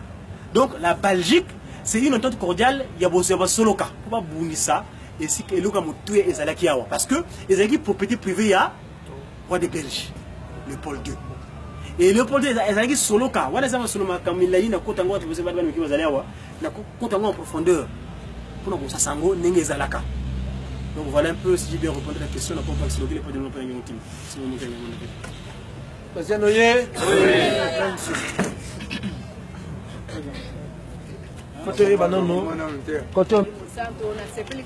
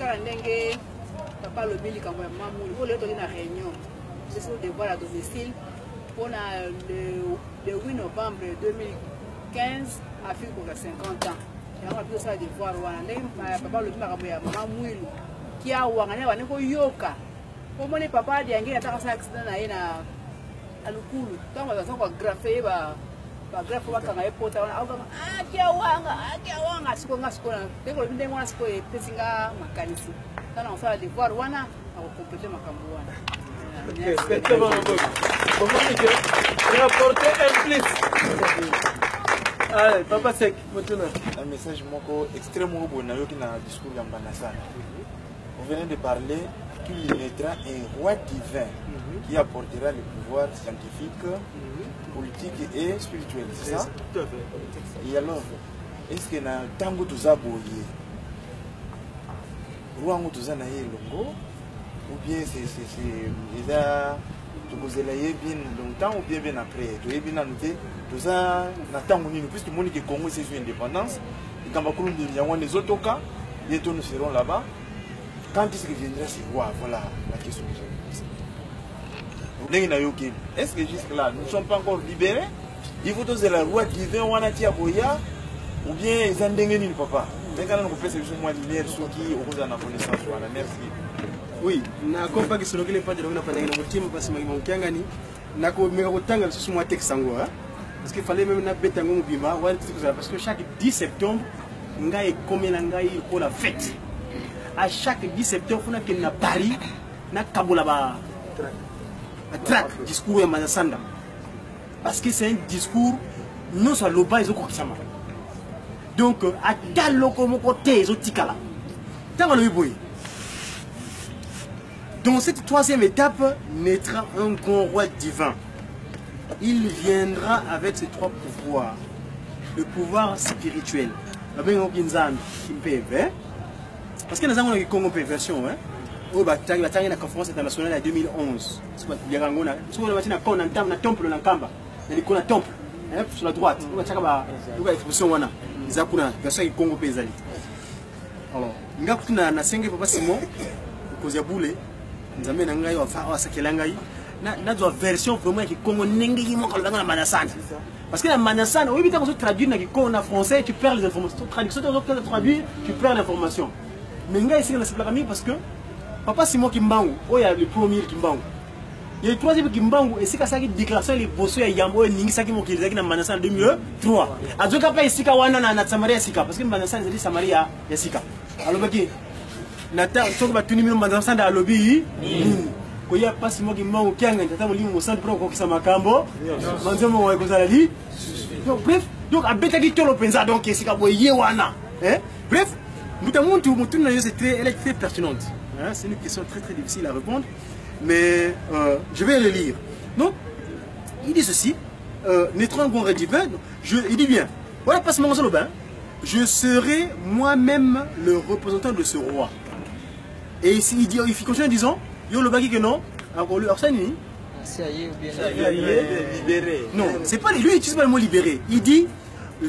j'ôterai, j'ôterai l'humiliation que l'on a toujours infligé aux hommes noirs depuis le temps le plus reculé, car de toutes les races de la terre, aucune n'a été autant maltraitée et humiliée que la race noire. J'aime bien la, troisième, le, verset de la grande vie. En dépit les, persécutions que l'occupant nous fait subir, nous avons l'obligation de de l'aimer, de ne pas le haïr, car cela serait contraire à l'évangile. Na traduire mon moke pona bandeko bazo landa monoko ya satana oyo te. Hein? Biso so. Euh elobi ke ngai moko nakozala nana na banana kikongo parce que ezali nalobaki na bino ya kikongo mpe ezali hein moto moto atuni motuna moko très capital parce que c'est une question très très euh, délicate euh, na, na france na kikongo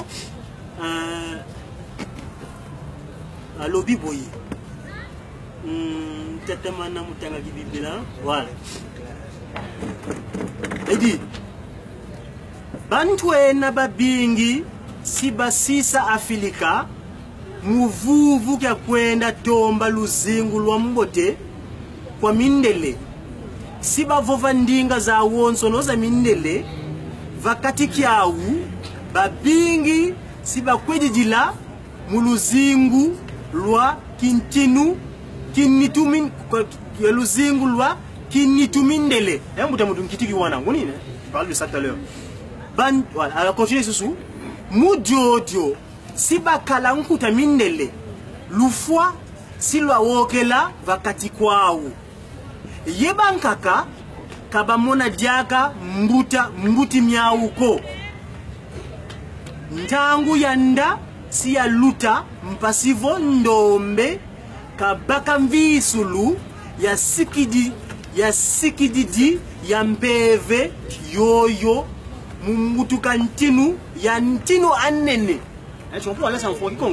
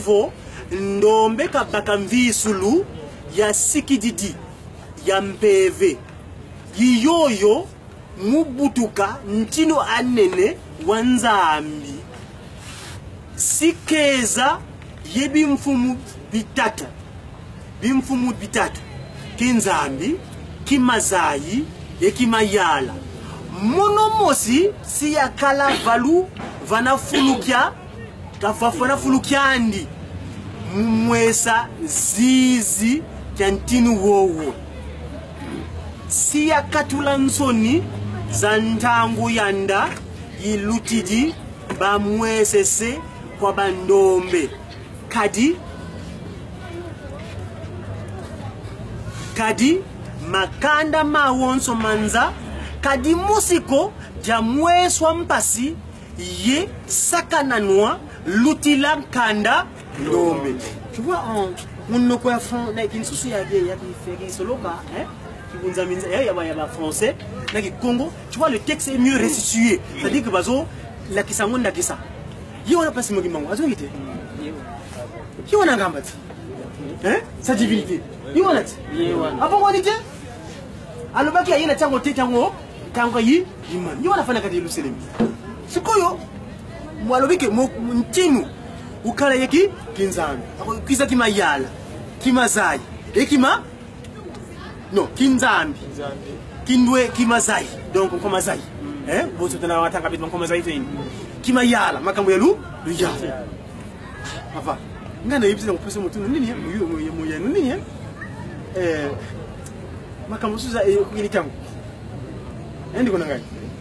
toyokana mpenza bolimbisi mpenza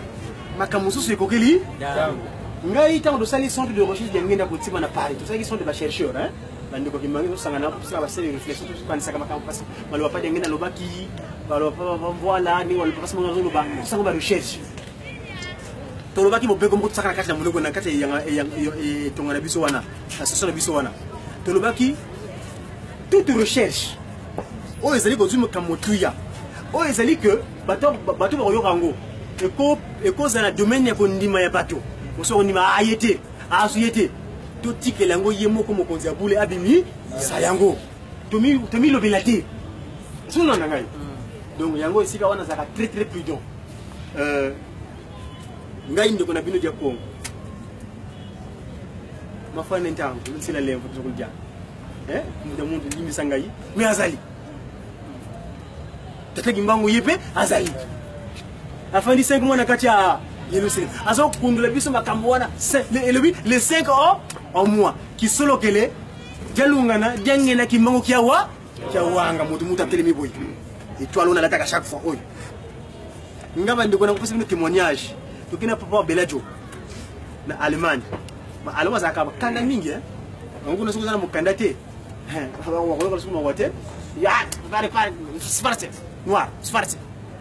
tokoti na kati tokoti tokoti euh, pays bas tokota frontière na kati ya bus nga kuna mokanda pasi ngai ntango nake poto lokola natosaki mobeko na bango te yango ya ya kobala na kula kobota basali nga mbamba entre 99 jusqu'en 2000 wana ma témoignage hein, na kosatele mbango na mbango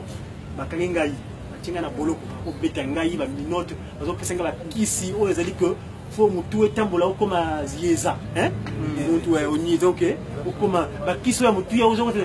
mais wa donc tellement que ezalaki mpasi mingi ntango mosusu na dao naloba ah, te ngai papa kiso ozobina ngai di mon fils ne crains rien je suis avec toi bakisi ozopesa yo ekosala eloko te atako bakisi wana biso tosala na satan ekolongola yo makambo topesi yo te bakangi meko Bon, allez, on va l'expulser. Parce que wana, vous allez kotumisa nga uta uta janvier, février, mars, tout comme na décembre 99. Avant que dans 2000. Ba dunga immunité. Bazo menga ite ba kemanga na aéroport. Nga tellement que na tuna mitumisa ki minga lobi bon. J'en ai marre na lembi pe hein. Na dunga nga na Afrique, na kena nkama na sala bilanga na ngai. Otango pe lembi pe j'en ai marre na dunga Afrique. Alors, bazo menga, bazo sala ressources na fani na ngai immunité ko.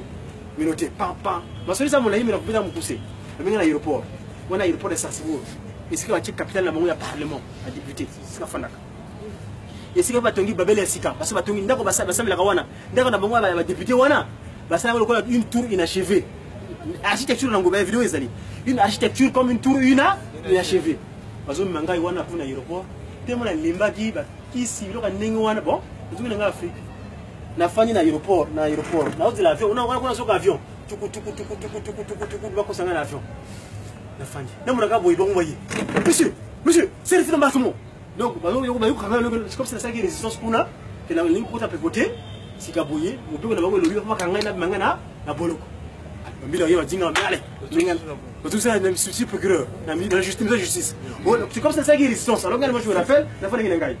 baminga na tribunal kuna na fani bakomi bakangi meko na basambisa ngai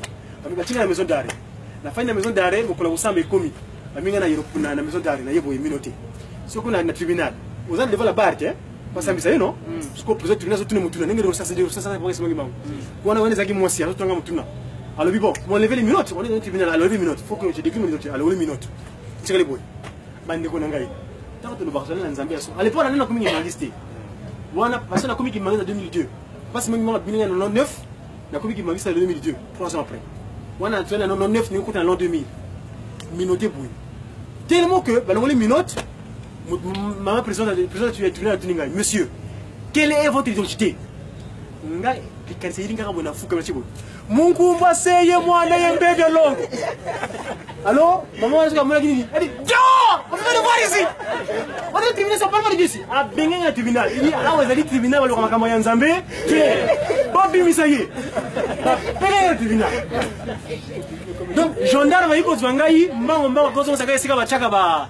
ba prisonnier yango basambisa bango parce que elekelaki bango ngai ndeko nanga na mituna ngai nalobaki na kikongo te mais yo mondila ayebaki teke nalobi makambo ya nzambe ndenge papa kisoki alobaki e ntango ozoloba na nkombo atete mwana ntango nyonso bango bakitaka ezali ya solo wana nalobaka na yebanga yango nete ya nonte mposa yango nakimangisi te kaka apres nayosa bareche bana o oh, papa alobaki nongo soko lobila na nkombo atete mwana oni mosana bango bakitaka mais sikoyo ye mama wana alobaka amonaki nini e nga nazali kaka nde na boye bakangi ngai nazala kaka boye nafukami mokumba se dio oyebela polisi alors bazwi meko bazongisi na maison d'adre bango comme likambo yango elekelaki bango bango olobaka nzambe azali te dieu n'existe pas donc faut boya koexamine moto moto aza maladi akomi fou il parle de dieu comme dieu il est fou il est malade faut qu'on le traite or ngai ba psychiatre banda janvier wana nazalaka na bango elongo cetadire bazwaka ngai bakanga wana soko mairie ya paris eh, mokonzi ya paris akangi meko no yo fo okanga kokende boloko boloko wana kozala kona ngambo ndakisa fo obima domaine ko acho hospitalisation d'office oyo ya police donc bakangi molo police arrêté préfectoral ya police de paris que no fo okanga kozala boloko wana bazopesa ngai bakisi ide na médecin but na ye alongola ngai likanisi nzambe azali te yeah. nga wana kaka mpe nazobonda kaka tata kimbangu mbakili mpe tata kimbangu mbakili mpe alors tino moko alembaki soko ntango médecin na étape na tokomi na décembre wana avant tokota tozalaka kouvert le 22 23 comme ça avant tokota l'an 2000 kati na kati ya boloko wana médecin wana ye donc tribunal a nommé un essai psychiatrique mpo na koexamine ngai soki nazali liboma soki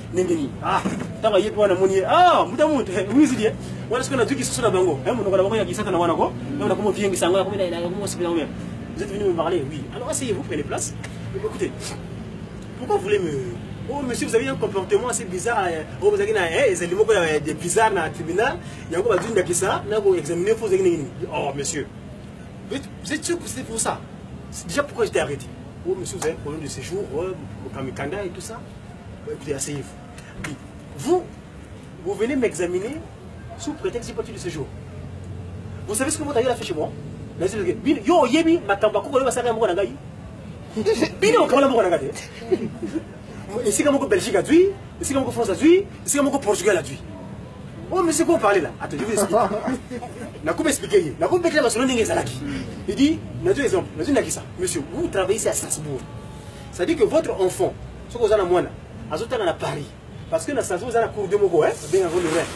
si votre votre fille à l'instant où je parle étudie à paris c'est-à-dire de l'autre côté de la rive gauche hein rive ya rhin bato moko basangi na bango quelque part so bino boyeba so boyokani na bino bakomi okabola mboka na bino kola mwa gato c'est-à-dire que soki mwana na yo hein azalaki kotanga kuna na, na paris surtout l'autre côté ya mai yokende otala mwana na yo fo ozwa visa okende kotala ye est ce que ezalaka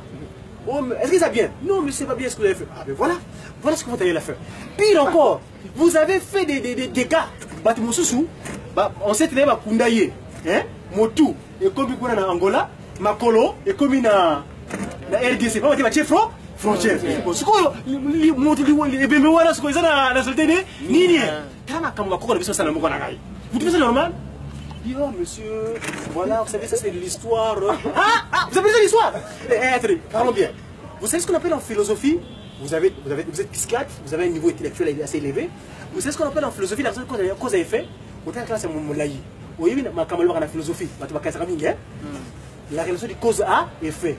oloni nguba okosoko pikola nayebisi yango ntango ayoki ndenge wana adui kaka buku na ye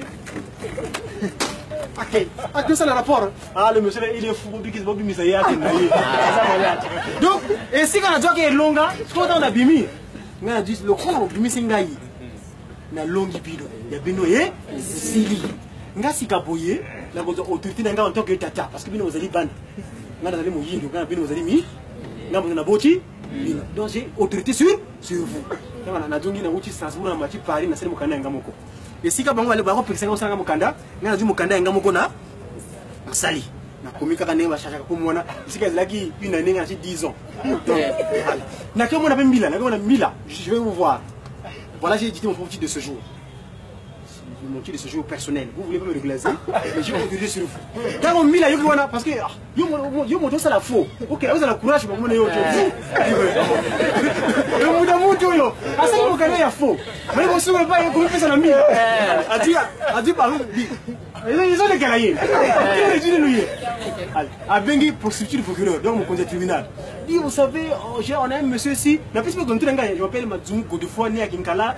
72 ntango atali nga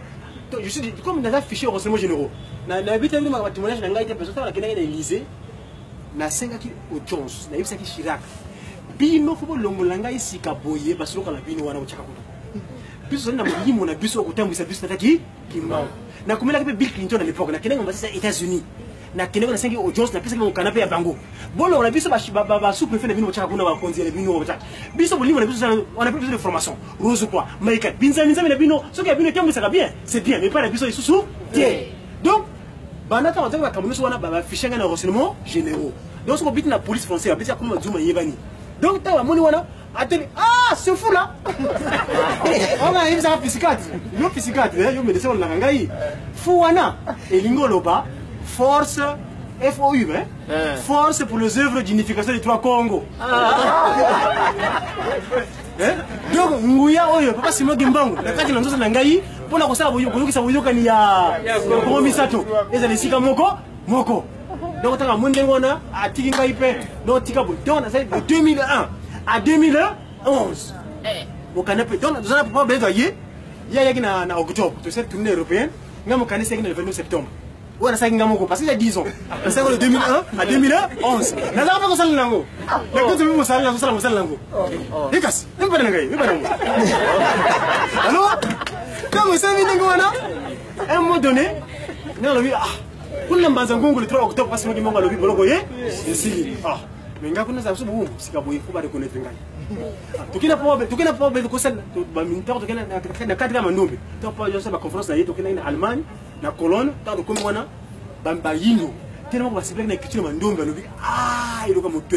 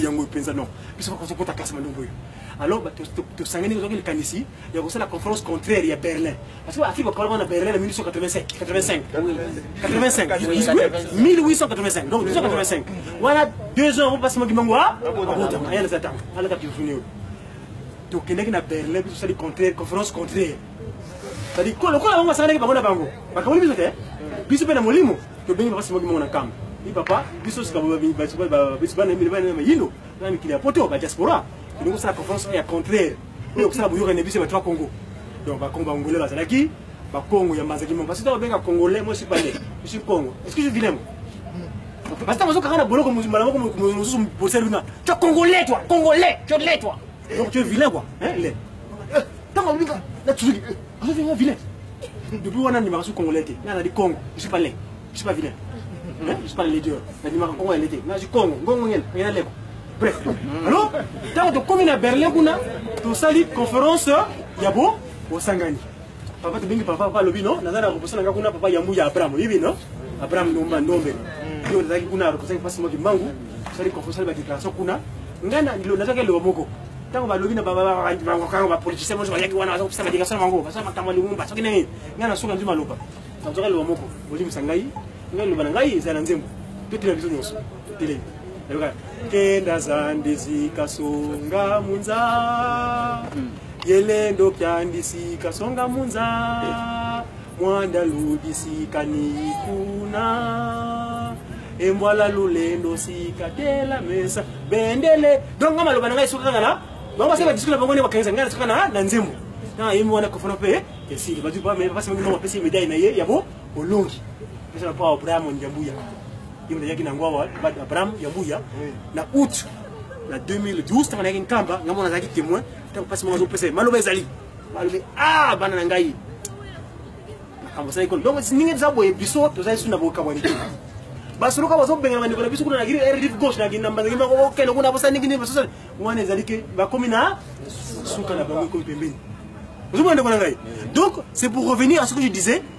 sika boye ntango nango ekokokana boyokani ya kintinu kya mbanza kimbangu parce que mboka wana makambo sana oseke tokolobela nano te kenda malema malema bref euh, moto ya mutu c'est ça ta question euh, ntango ezali ntango mpasi mokili mango akopesa ndakisa okolobela yango tokolobela yango nasisi boye nakopakisa lokele pa demana pa ndenge nango te pesa mokenge na molimo sa Basian oye tokopesa papa eder maloba osala mwa complement nde tosukisi na papa na biso kuna tomoni mosanto eh, mwa complement moko moke na question ndeko atunaki boabordaki mwa likambo moko concernant eh, bonsomi bolobelaki makambo ya sujet moko makambo concerne deuxième guerre mondiale voilà concernant deuxième guerre mondiale naza na masolo moko nasalaki na lutendele mpo nalekiselaki bonanie ya ne oyo tozali yango na lutendele ndeko moko aza chercheur j'espère bien ke azolekisaka mwa eloko mpe na kateleki tozalaka na ye na lutendele nde ye nde moto ateyaka le 1er janvier na mabanga alobelaki biso mwa likambo moko parmi makambo alobelaki na retenaki mwa makambo mingi mais na na compléter pour na makambo concerné deuxième guerre mondiale alobelaka yango mpe alobi non deuxième guerre mondiale effectivement ndenge papa uti oloba ezalaki guerre oyo papa simo kimbangu ye nde moto adéclaraki yango depuis mbanda nsanda et puis but na yango principal ezalaki vraiment mpona kotalisa mondele ete colonisation bango baya komema na afrique vie oyo ya colonisation bamemaki ye moko sikoyo nzambe papa songo kimbangu abalolele bango baegui donc abalolele bango baflèche na deuxième guerre mondiale wana mpo aponaki moko kati na bango mpo akolonise nano bango hitler ntango apesi ye nguya wana mpo abanda konyokola na bango moko toyebi mangba hitler na ndenge mpe kosala ke bakozwa susu belgique en otage ndenge babenga bapapa bakenda kosala libondeli kuna toyebi bahistoire aboma wana ndenge lekela na mwanda soki na bongo je crois bien donc deuxième guerre mondiale ezalaki eloko oyo papa simo kimbangu ye nde déclaraki yango na ntango wana ndenge likambo yango esalemaki ndenge yayo esalaki ye ntango bayokanga na roi ya belgique kuna epuis bamikanda nyonso na baengagement yo kosalema mpo bayo kopesa indépendance na biso nyonso na ezali bamikanda oyo mpe ezomema biso lobilobi ekozala expose na musée mpo ezali parmi biloko ekopesa lokumu na lingomba donc ndenge papa otoloba yango deuxième guerre mondiale ezalaki bitumba moko ya ye momoli mosantu ye nde tadeklaraki yango mwa bamabombami mwa mingi mwa makambo yango eza mwa mingi na bande na kati ya forum mwa bango moko bakambi ya forum bayeba kobongisa mwa babande mosusu eza nango batango mosusu soki baorateur baza te tosorganise peut-être tokozala na makoki ya koyeba kotyaka tyaka yango mpe yango oyo eza mwa baarchive tozazanga na ndako tellement que naza concentré mpe na mwa mosala kuna mwa bamakambo mosusu namekaki kokanga yango wana komema na papie te emeki kokima nga namingaki na complete mwa baelema moko wa mai ekimi nga motu mais oyo peut-être na retenaki mwa moke yanga na complete concernant deuxième guerre mondiale ezalaki moko ya bamakambo ye moko papasi moki mbangu adeclenchaki mpo na koyeba kolukela biso indépendance donc aponaki moko kati na bango aniokola bango apesa bango amekisa bango nono pasi wana ya colonisation po hitler azalaki moto oyo papa denge na ndobaki hitler azalaki mbwa ya tata na ngai selon baterme ya papa denge na bande koloba hitler azalaki mbwa ya tata na ngai donc papa simo kimbangu asistaki hitler mpo ayeba konyokola bango mo bamindele akolonise bango ndenge akokolonise biso pourke epousse bango na koyeba kopesa biso indépendance donc voilà mwa complément na ngai kopesa na komba tata na bango mosantu kolobela kaka mpo na chiffre 5 tobandi nano eximation ya mama mwilu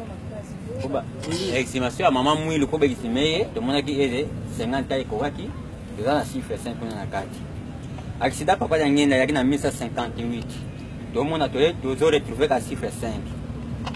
bapapa basali 5 mwana nkamba chiffre 5 toujours conférence de berlin chiffre 5 toujours na 1885 mibeko ebandaki kotangama mingi na 1985 mibeko totanga lingomba toujours chiffre 5 boba papa bango bane bazalaki papa, papa simon papa mama, mama kiawanga na bapapa bango misato toujours baza combien 5 boma ndombe mpe eye koforme kaka na 5 na 2 donc 52 donc chiffre 5 eza na kati yango nani naloba yo papa explike biso pourkui kaka chiffre 5 Nina mona ka nina na eza explication ya situation. Bon.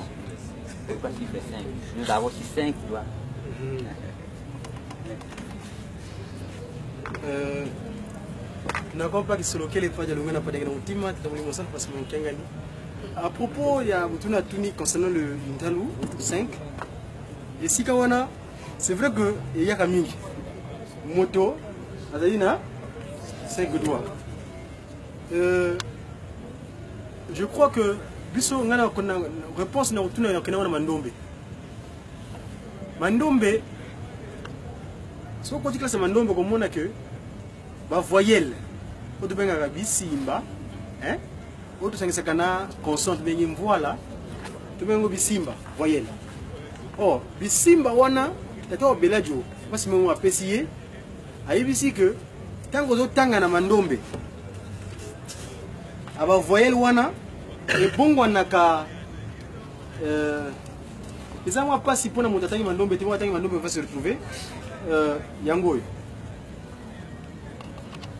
soki okozume omona akomi bavoyele yango te a tobenga yango papa vele ntango apesaki bakombo ya eloko na ye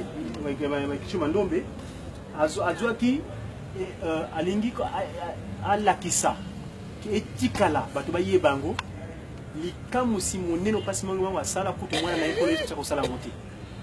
oyo ezali ke ofisi apesa libigidite kokanga papa simo kimbangu na esika ebele au même moment ezali bakangi papa kimbangu kimbangu na kimanseke bakangi ye na njili bakangi ye na bato ba kimbangu nyonso wana basesika moko bakomi kimbangu moko papa beladio mpo na kolakisa eloko ata bato yokota klase ya mandombe bakoyoka mpe histoire pasi mwangi mbangu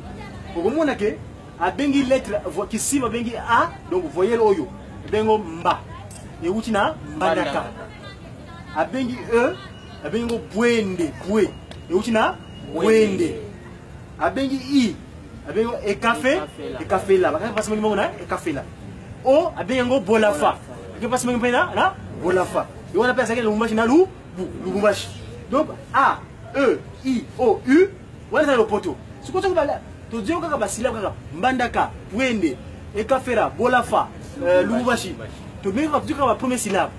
mba bwe eka bo luki sikoyo soki ozango na phrase okomona kobimisa mwa phrase moko na kati soki ozwi mba eh? mba yango ebonganaka lettre a la parce que na mandomi sili krichi mono silabique ça fonctionne na consonne na voyelle soki olongeli mbwala mbamba mbotama ndombe ozokomi tu te trouves hein yango yo kota classe bokomi mpofu hein perdu là parce que vous avez kota classe ya trois kara ko mais trois kara mokati nini Papa Simon Kimbangu, une parenthèse. Le 6 avril 2007, na kati ya nkamba, na maloba na ye,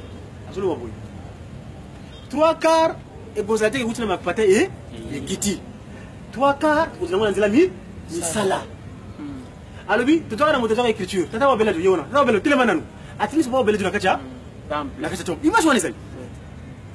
Donc azali ko lipesa biso nyonso mais ndombe savo ah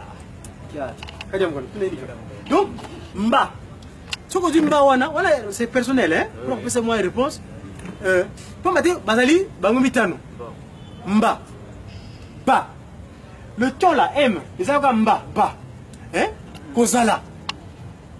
bango mitano ezali ye ye wana donc moto fo azala tala le ba le bala bala wana ezozonga bamindele babengi biso peuple bantou baloba ndenge wana te mais bango balobi na bantou mais quand tu mets bantou tu n'as pas d'explication moi j'ai un chercheur néerlandais akomaki ye azalaki moto ya yambo asalaki barecherche concernant le peuple bantou alobi akomi yango bino na français bozotanga bantou non bantou te c'est bantou bantu oyo ya bato ya yambo bato ya tete bantu bato ya liboso balider ah, mondele ayebi na ete biso tozali batata na bango sikoyo yo tata fo ososola kozali kaka tata mi ndenge otikaka bakonsiaka na mwana ye atambusaka yo omoni donc ba wana le 5 là le chiffre 5 donc bango le 5 bantu bato ya ya ya yambo tokangama na bango bi ye wana mpasi moki mangu aza yo nzambe azaka ntango bakabo ya veston ebimi o oh, tozalaka na estce oyebi mpona ete trinité ezali mpona ozala nzambe tata banzembe mosusu ozwa na bahebraïke bayuda yo ya kala wana batanga kaka ya afrika kaka esili eh oke na bayina ba musulman bandeko na biso so bazala nkele mingi bakumaka bato kuna kuma nzambe halaha akba halakaka esili bango trinité ezali okomi na bandeko na biso basoloka esika na bangi tronton bakatholike balobi nzambe azali mwana azali me molimo ozali okomi na bango mpasi pamba te ezali ya bango omoni mwa mpasi ezali wana mais nzambe azali kaka moko mbungutu leni bakaka tolobisaki bino ko ngaka ngaka mbuki ntango abebisi bango bango ndoki bakimaki te ntango molimo parce que mokili avo ezala ezali kaka molimo ezo na likolo ya ya mai azali kaka ye moko miponi bakamala mpe mosango misato oyiponi osala ba recherche bandeko na ngai ye likambo elobaka trinité wana dieu le père dieu le fils dieu le saint esprit ngai nazalaki na nazalaki na classe na université à l'époque avec coupe le plan euh, parce que ozomona ngai ngai avandaki na restaurant université kaka babindeli bafani wana ngai avandaki afana bondela wana soki mondela kotala ngai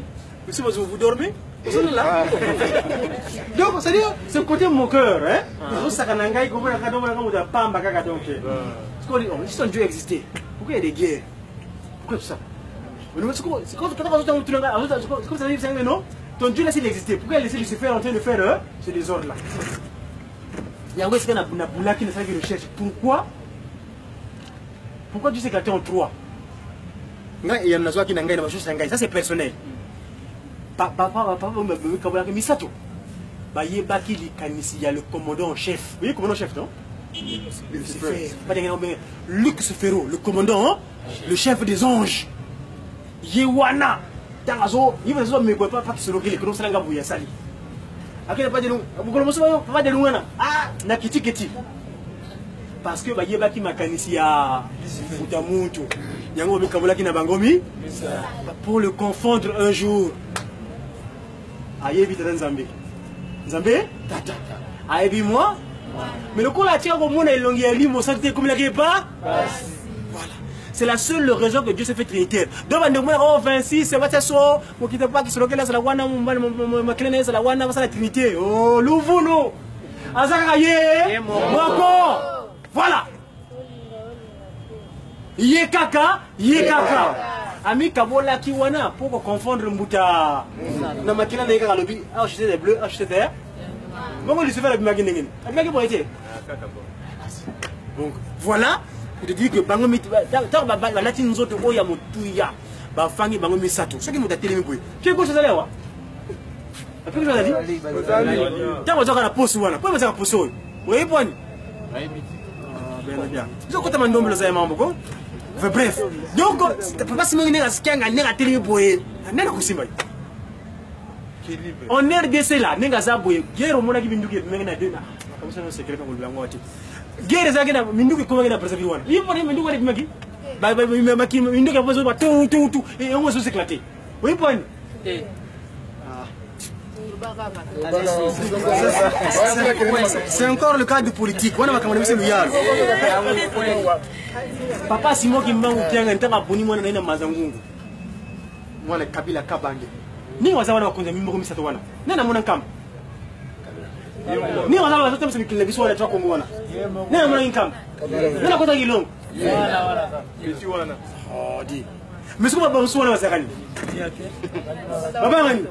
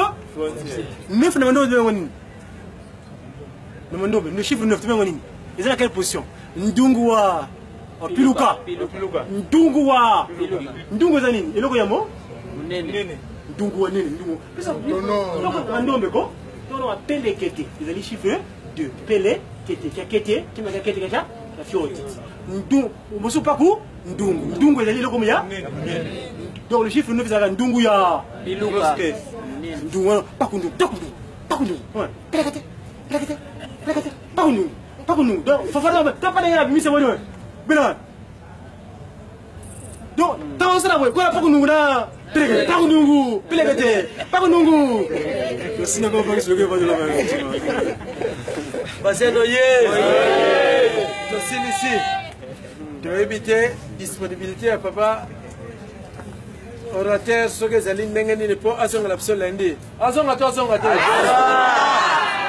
ye moko akopesa biso programme selon disponibilité na ye vraiment heure epusani tokomi déjà 21 heure presque moins 10 tomoni ngonga esi epusani mais tozwi mpenza ya motuya ntango tokopesa ye maloba soki disponibilité ekozala mpo azongela biso lendi ekoya ye moto akoyeba soki oyo ekolanda kuna ye kaka moto akoyeba soki tosilisi bajeune tozwa bakiti oyo ezalaka na tribune tozongisa na tribune oyo ezalaka na biro tozongisa na biro lobi ezali journal mardi tozala ebele na rencontre na site ya njili na quartier 3 mpo tosala misala tosilisa musée ntango papa boya ainaugure yango oyo ya biso nde ekangami na esika wana nde soki programme nyonso esili mama president afiki mama pase mpemba nde ye akoclotire libondeli mais nde liloba suka tokopesa na papa orateur mpo toyeba emploi du temps na ye ezali ndenge nini mokolo nini oyo akoki kozongela biso eza bongo te asiano eh? ye alors tokotonda nyonso oyo eleki awa onkomo misata bule onkombo ya tata ya mwana mpe tata molimo santu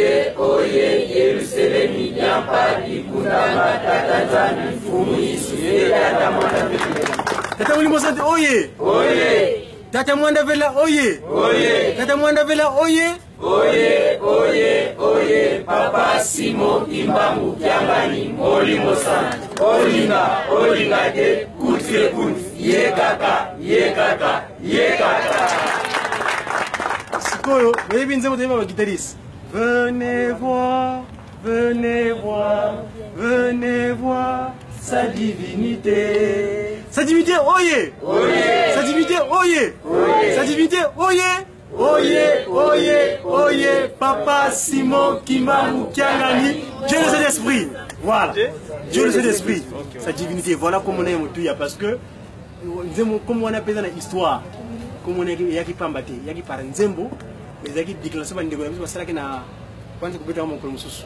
soki nzambe apesi nzela papa na motuni otuni ngai euh, mpo na ngai ezali nango likambo mpasi te ngai ndenge nayebisaki bino nayaki na afrike pamba te oyo ya ngai atikalaki awa visi dia mikukuka kasala donc tavuka ne yani tuvuka le 23 mutu kuna yeluselemi donc euh, tobalanaki nsima fete na biso baguitariste après na bimaki Euh, sauf que comme na badémarche ndenge parce que papa apesaki ngai mobeko nakozonga na mikili kuna te soki nakenda mwasi na ngai te parce que ntango susi wana après mariage ndako ah, ye papa afandaki na dini na biso ti na suka eh, papa na mfuma na kolo yesu afandi wana bafandi na dini na ngai ti na suka ntango kapesi ngai moto alobi nungini kwako donc eh, après nalali ayebisa ngai ke nosa kwenda kovokoleke visi yako donc nazobunda eh, ndenge awa mpe yango ndenge ezali baza bana ngai bakotosa na bango bakopesa mwasi na ngai nzela kasi alingi te akota na nzela oyo ozaka viokolo viokolo te akota na buzitu na respect nyonso parceke mokili wana eza mokili ngai bakoko na ngai mosusu ndele baza kuna mposa na biso babongwana baza bana batosa batata na ezali sesa l'objectif ezalika mosusu te baza bana batosa batata na ekasi ezalika mopesi te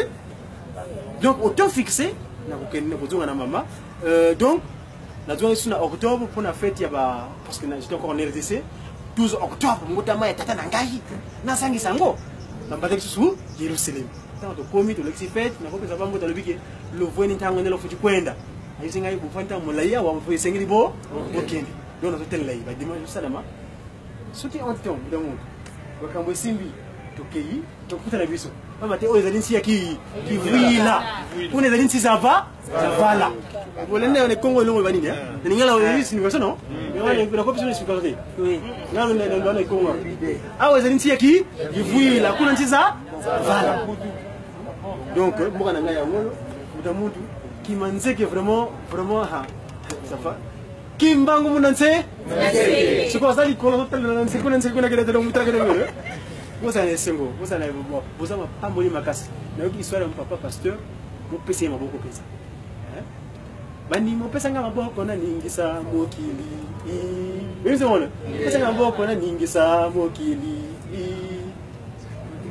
kotilika eza te mane toi mpo nazongisa mokili oyo esika nzambe na biso papa diangenda ingisa ingisa nzambe na biso donc azosukuma mokili epi ozopesema maboko na mabondeli na nami misala kimbanzeke kimbanzeke esika wana mpenza ebendeli ekoya te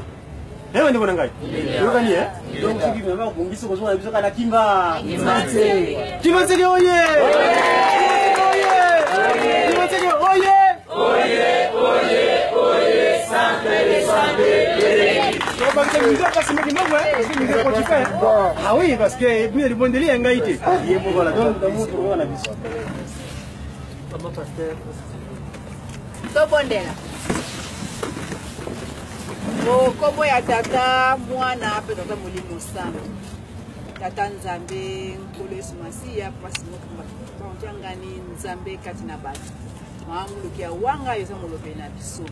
toyaki na kobanda ntongo toye mpe na pokwa esantu sikoyo toye na esika oyo ecole de formation tozwi ya minene papa tosengi epai na yo pambola orateur ya mokolo lelo oyo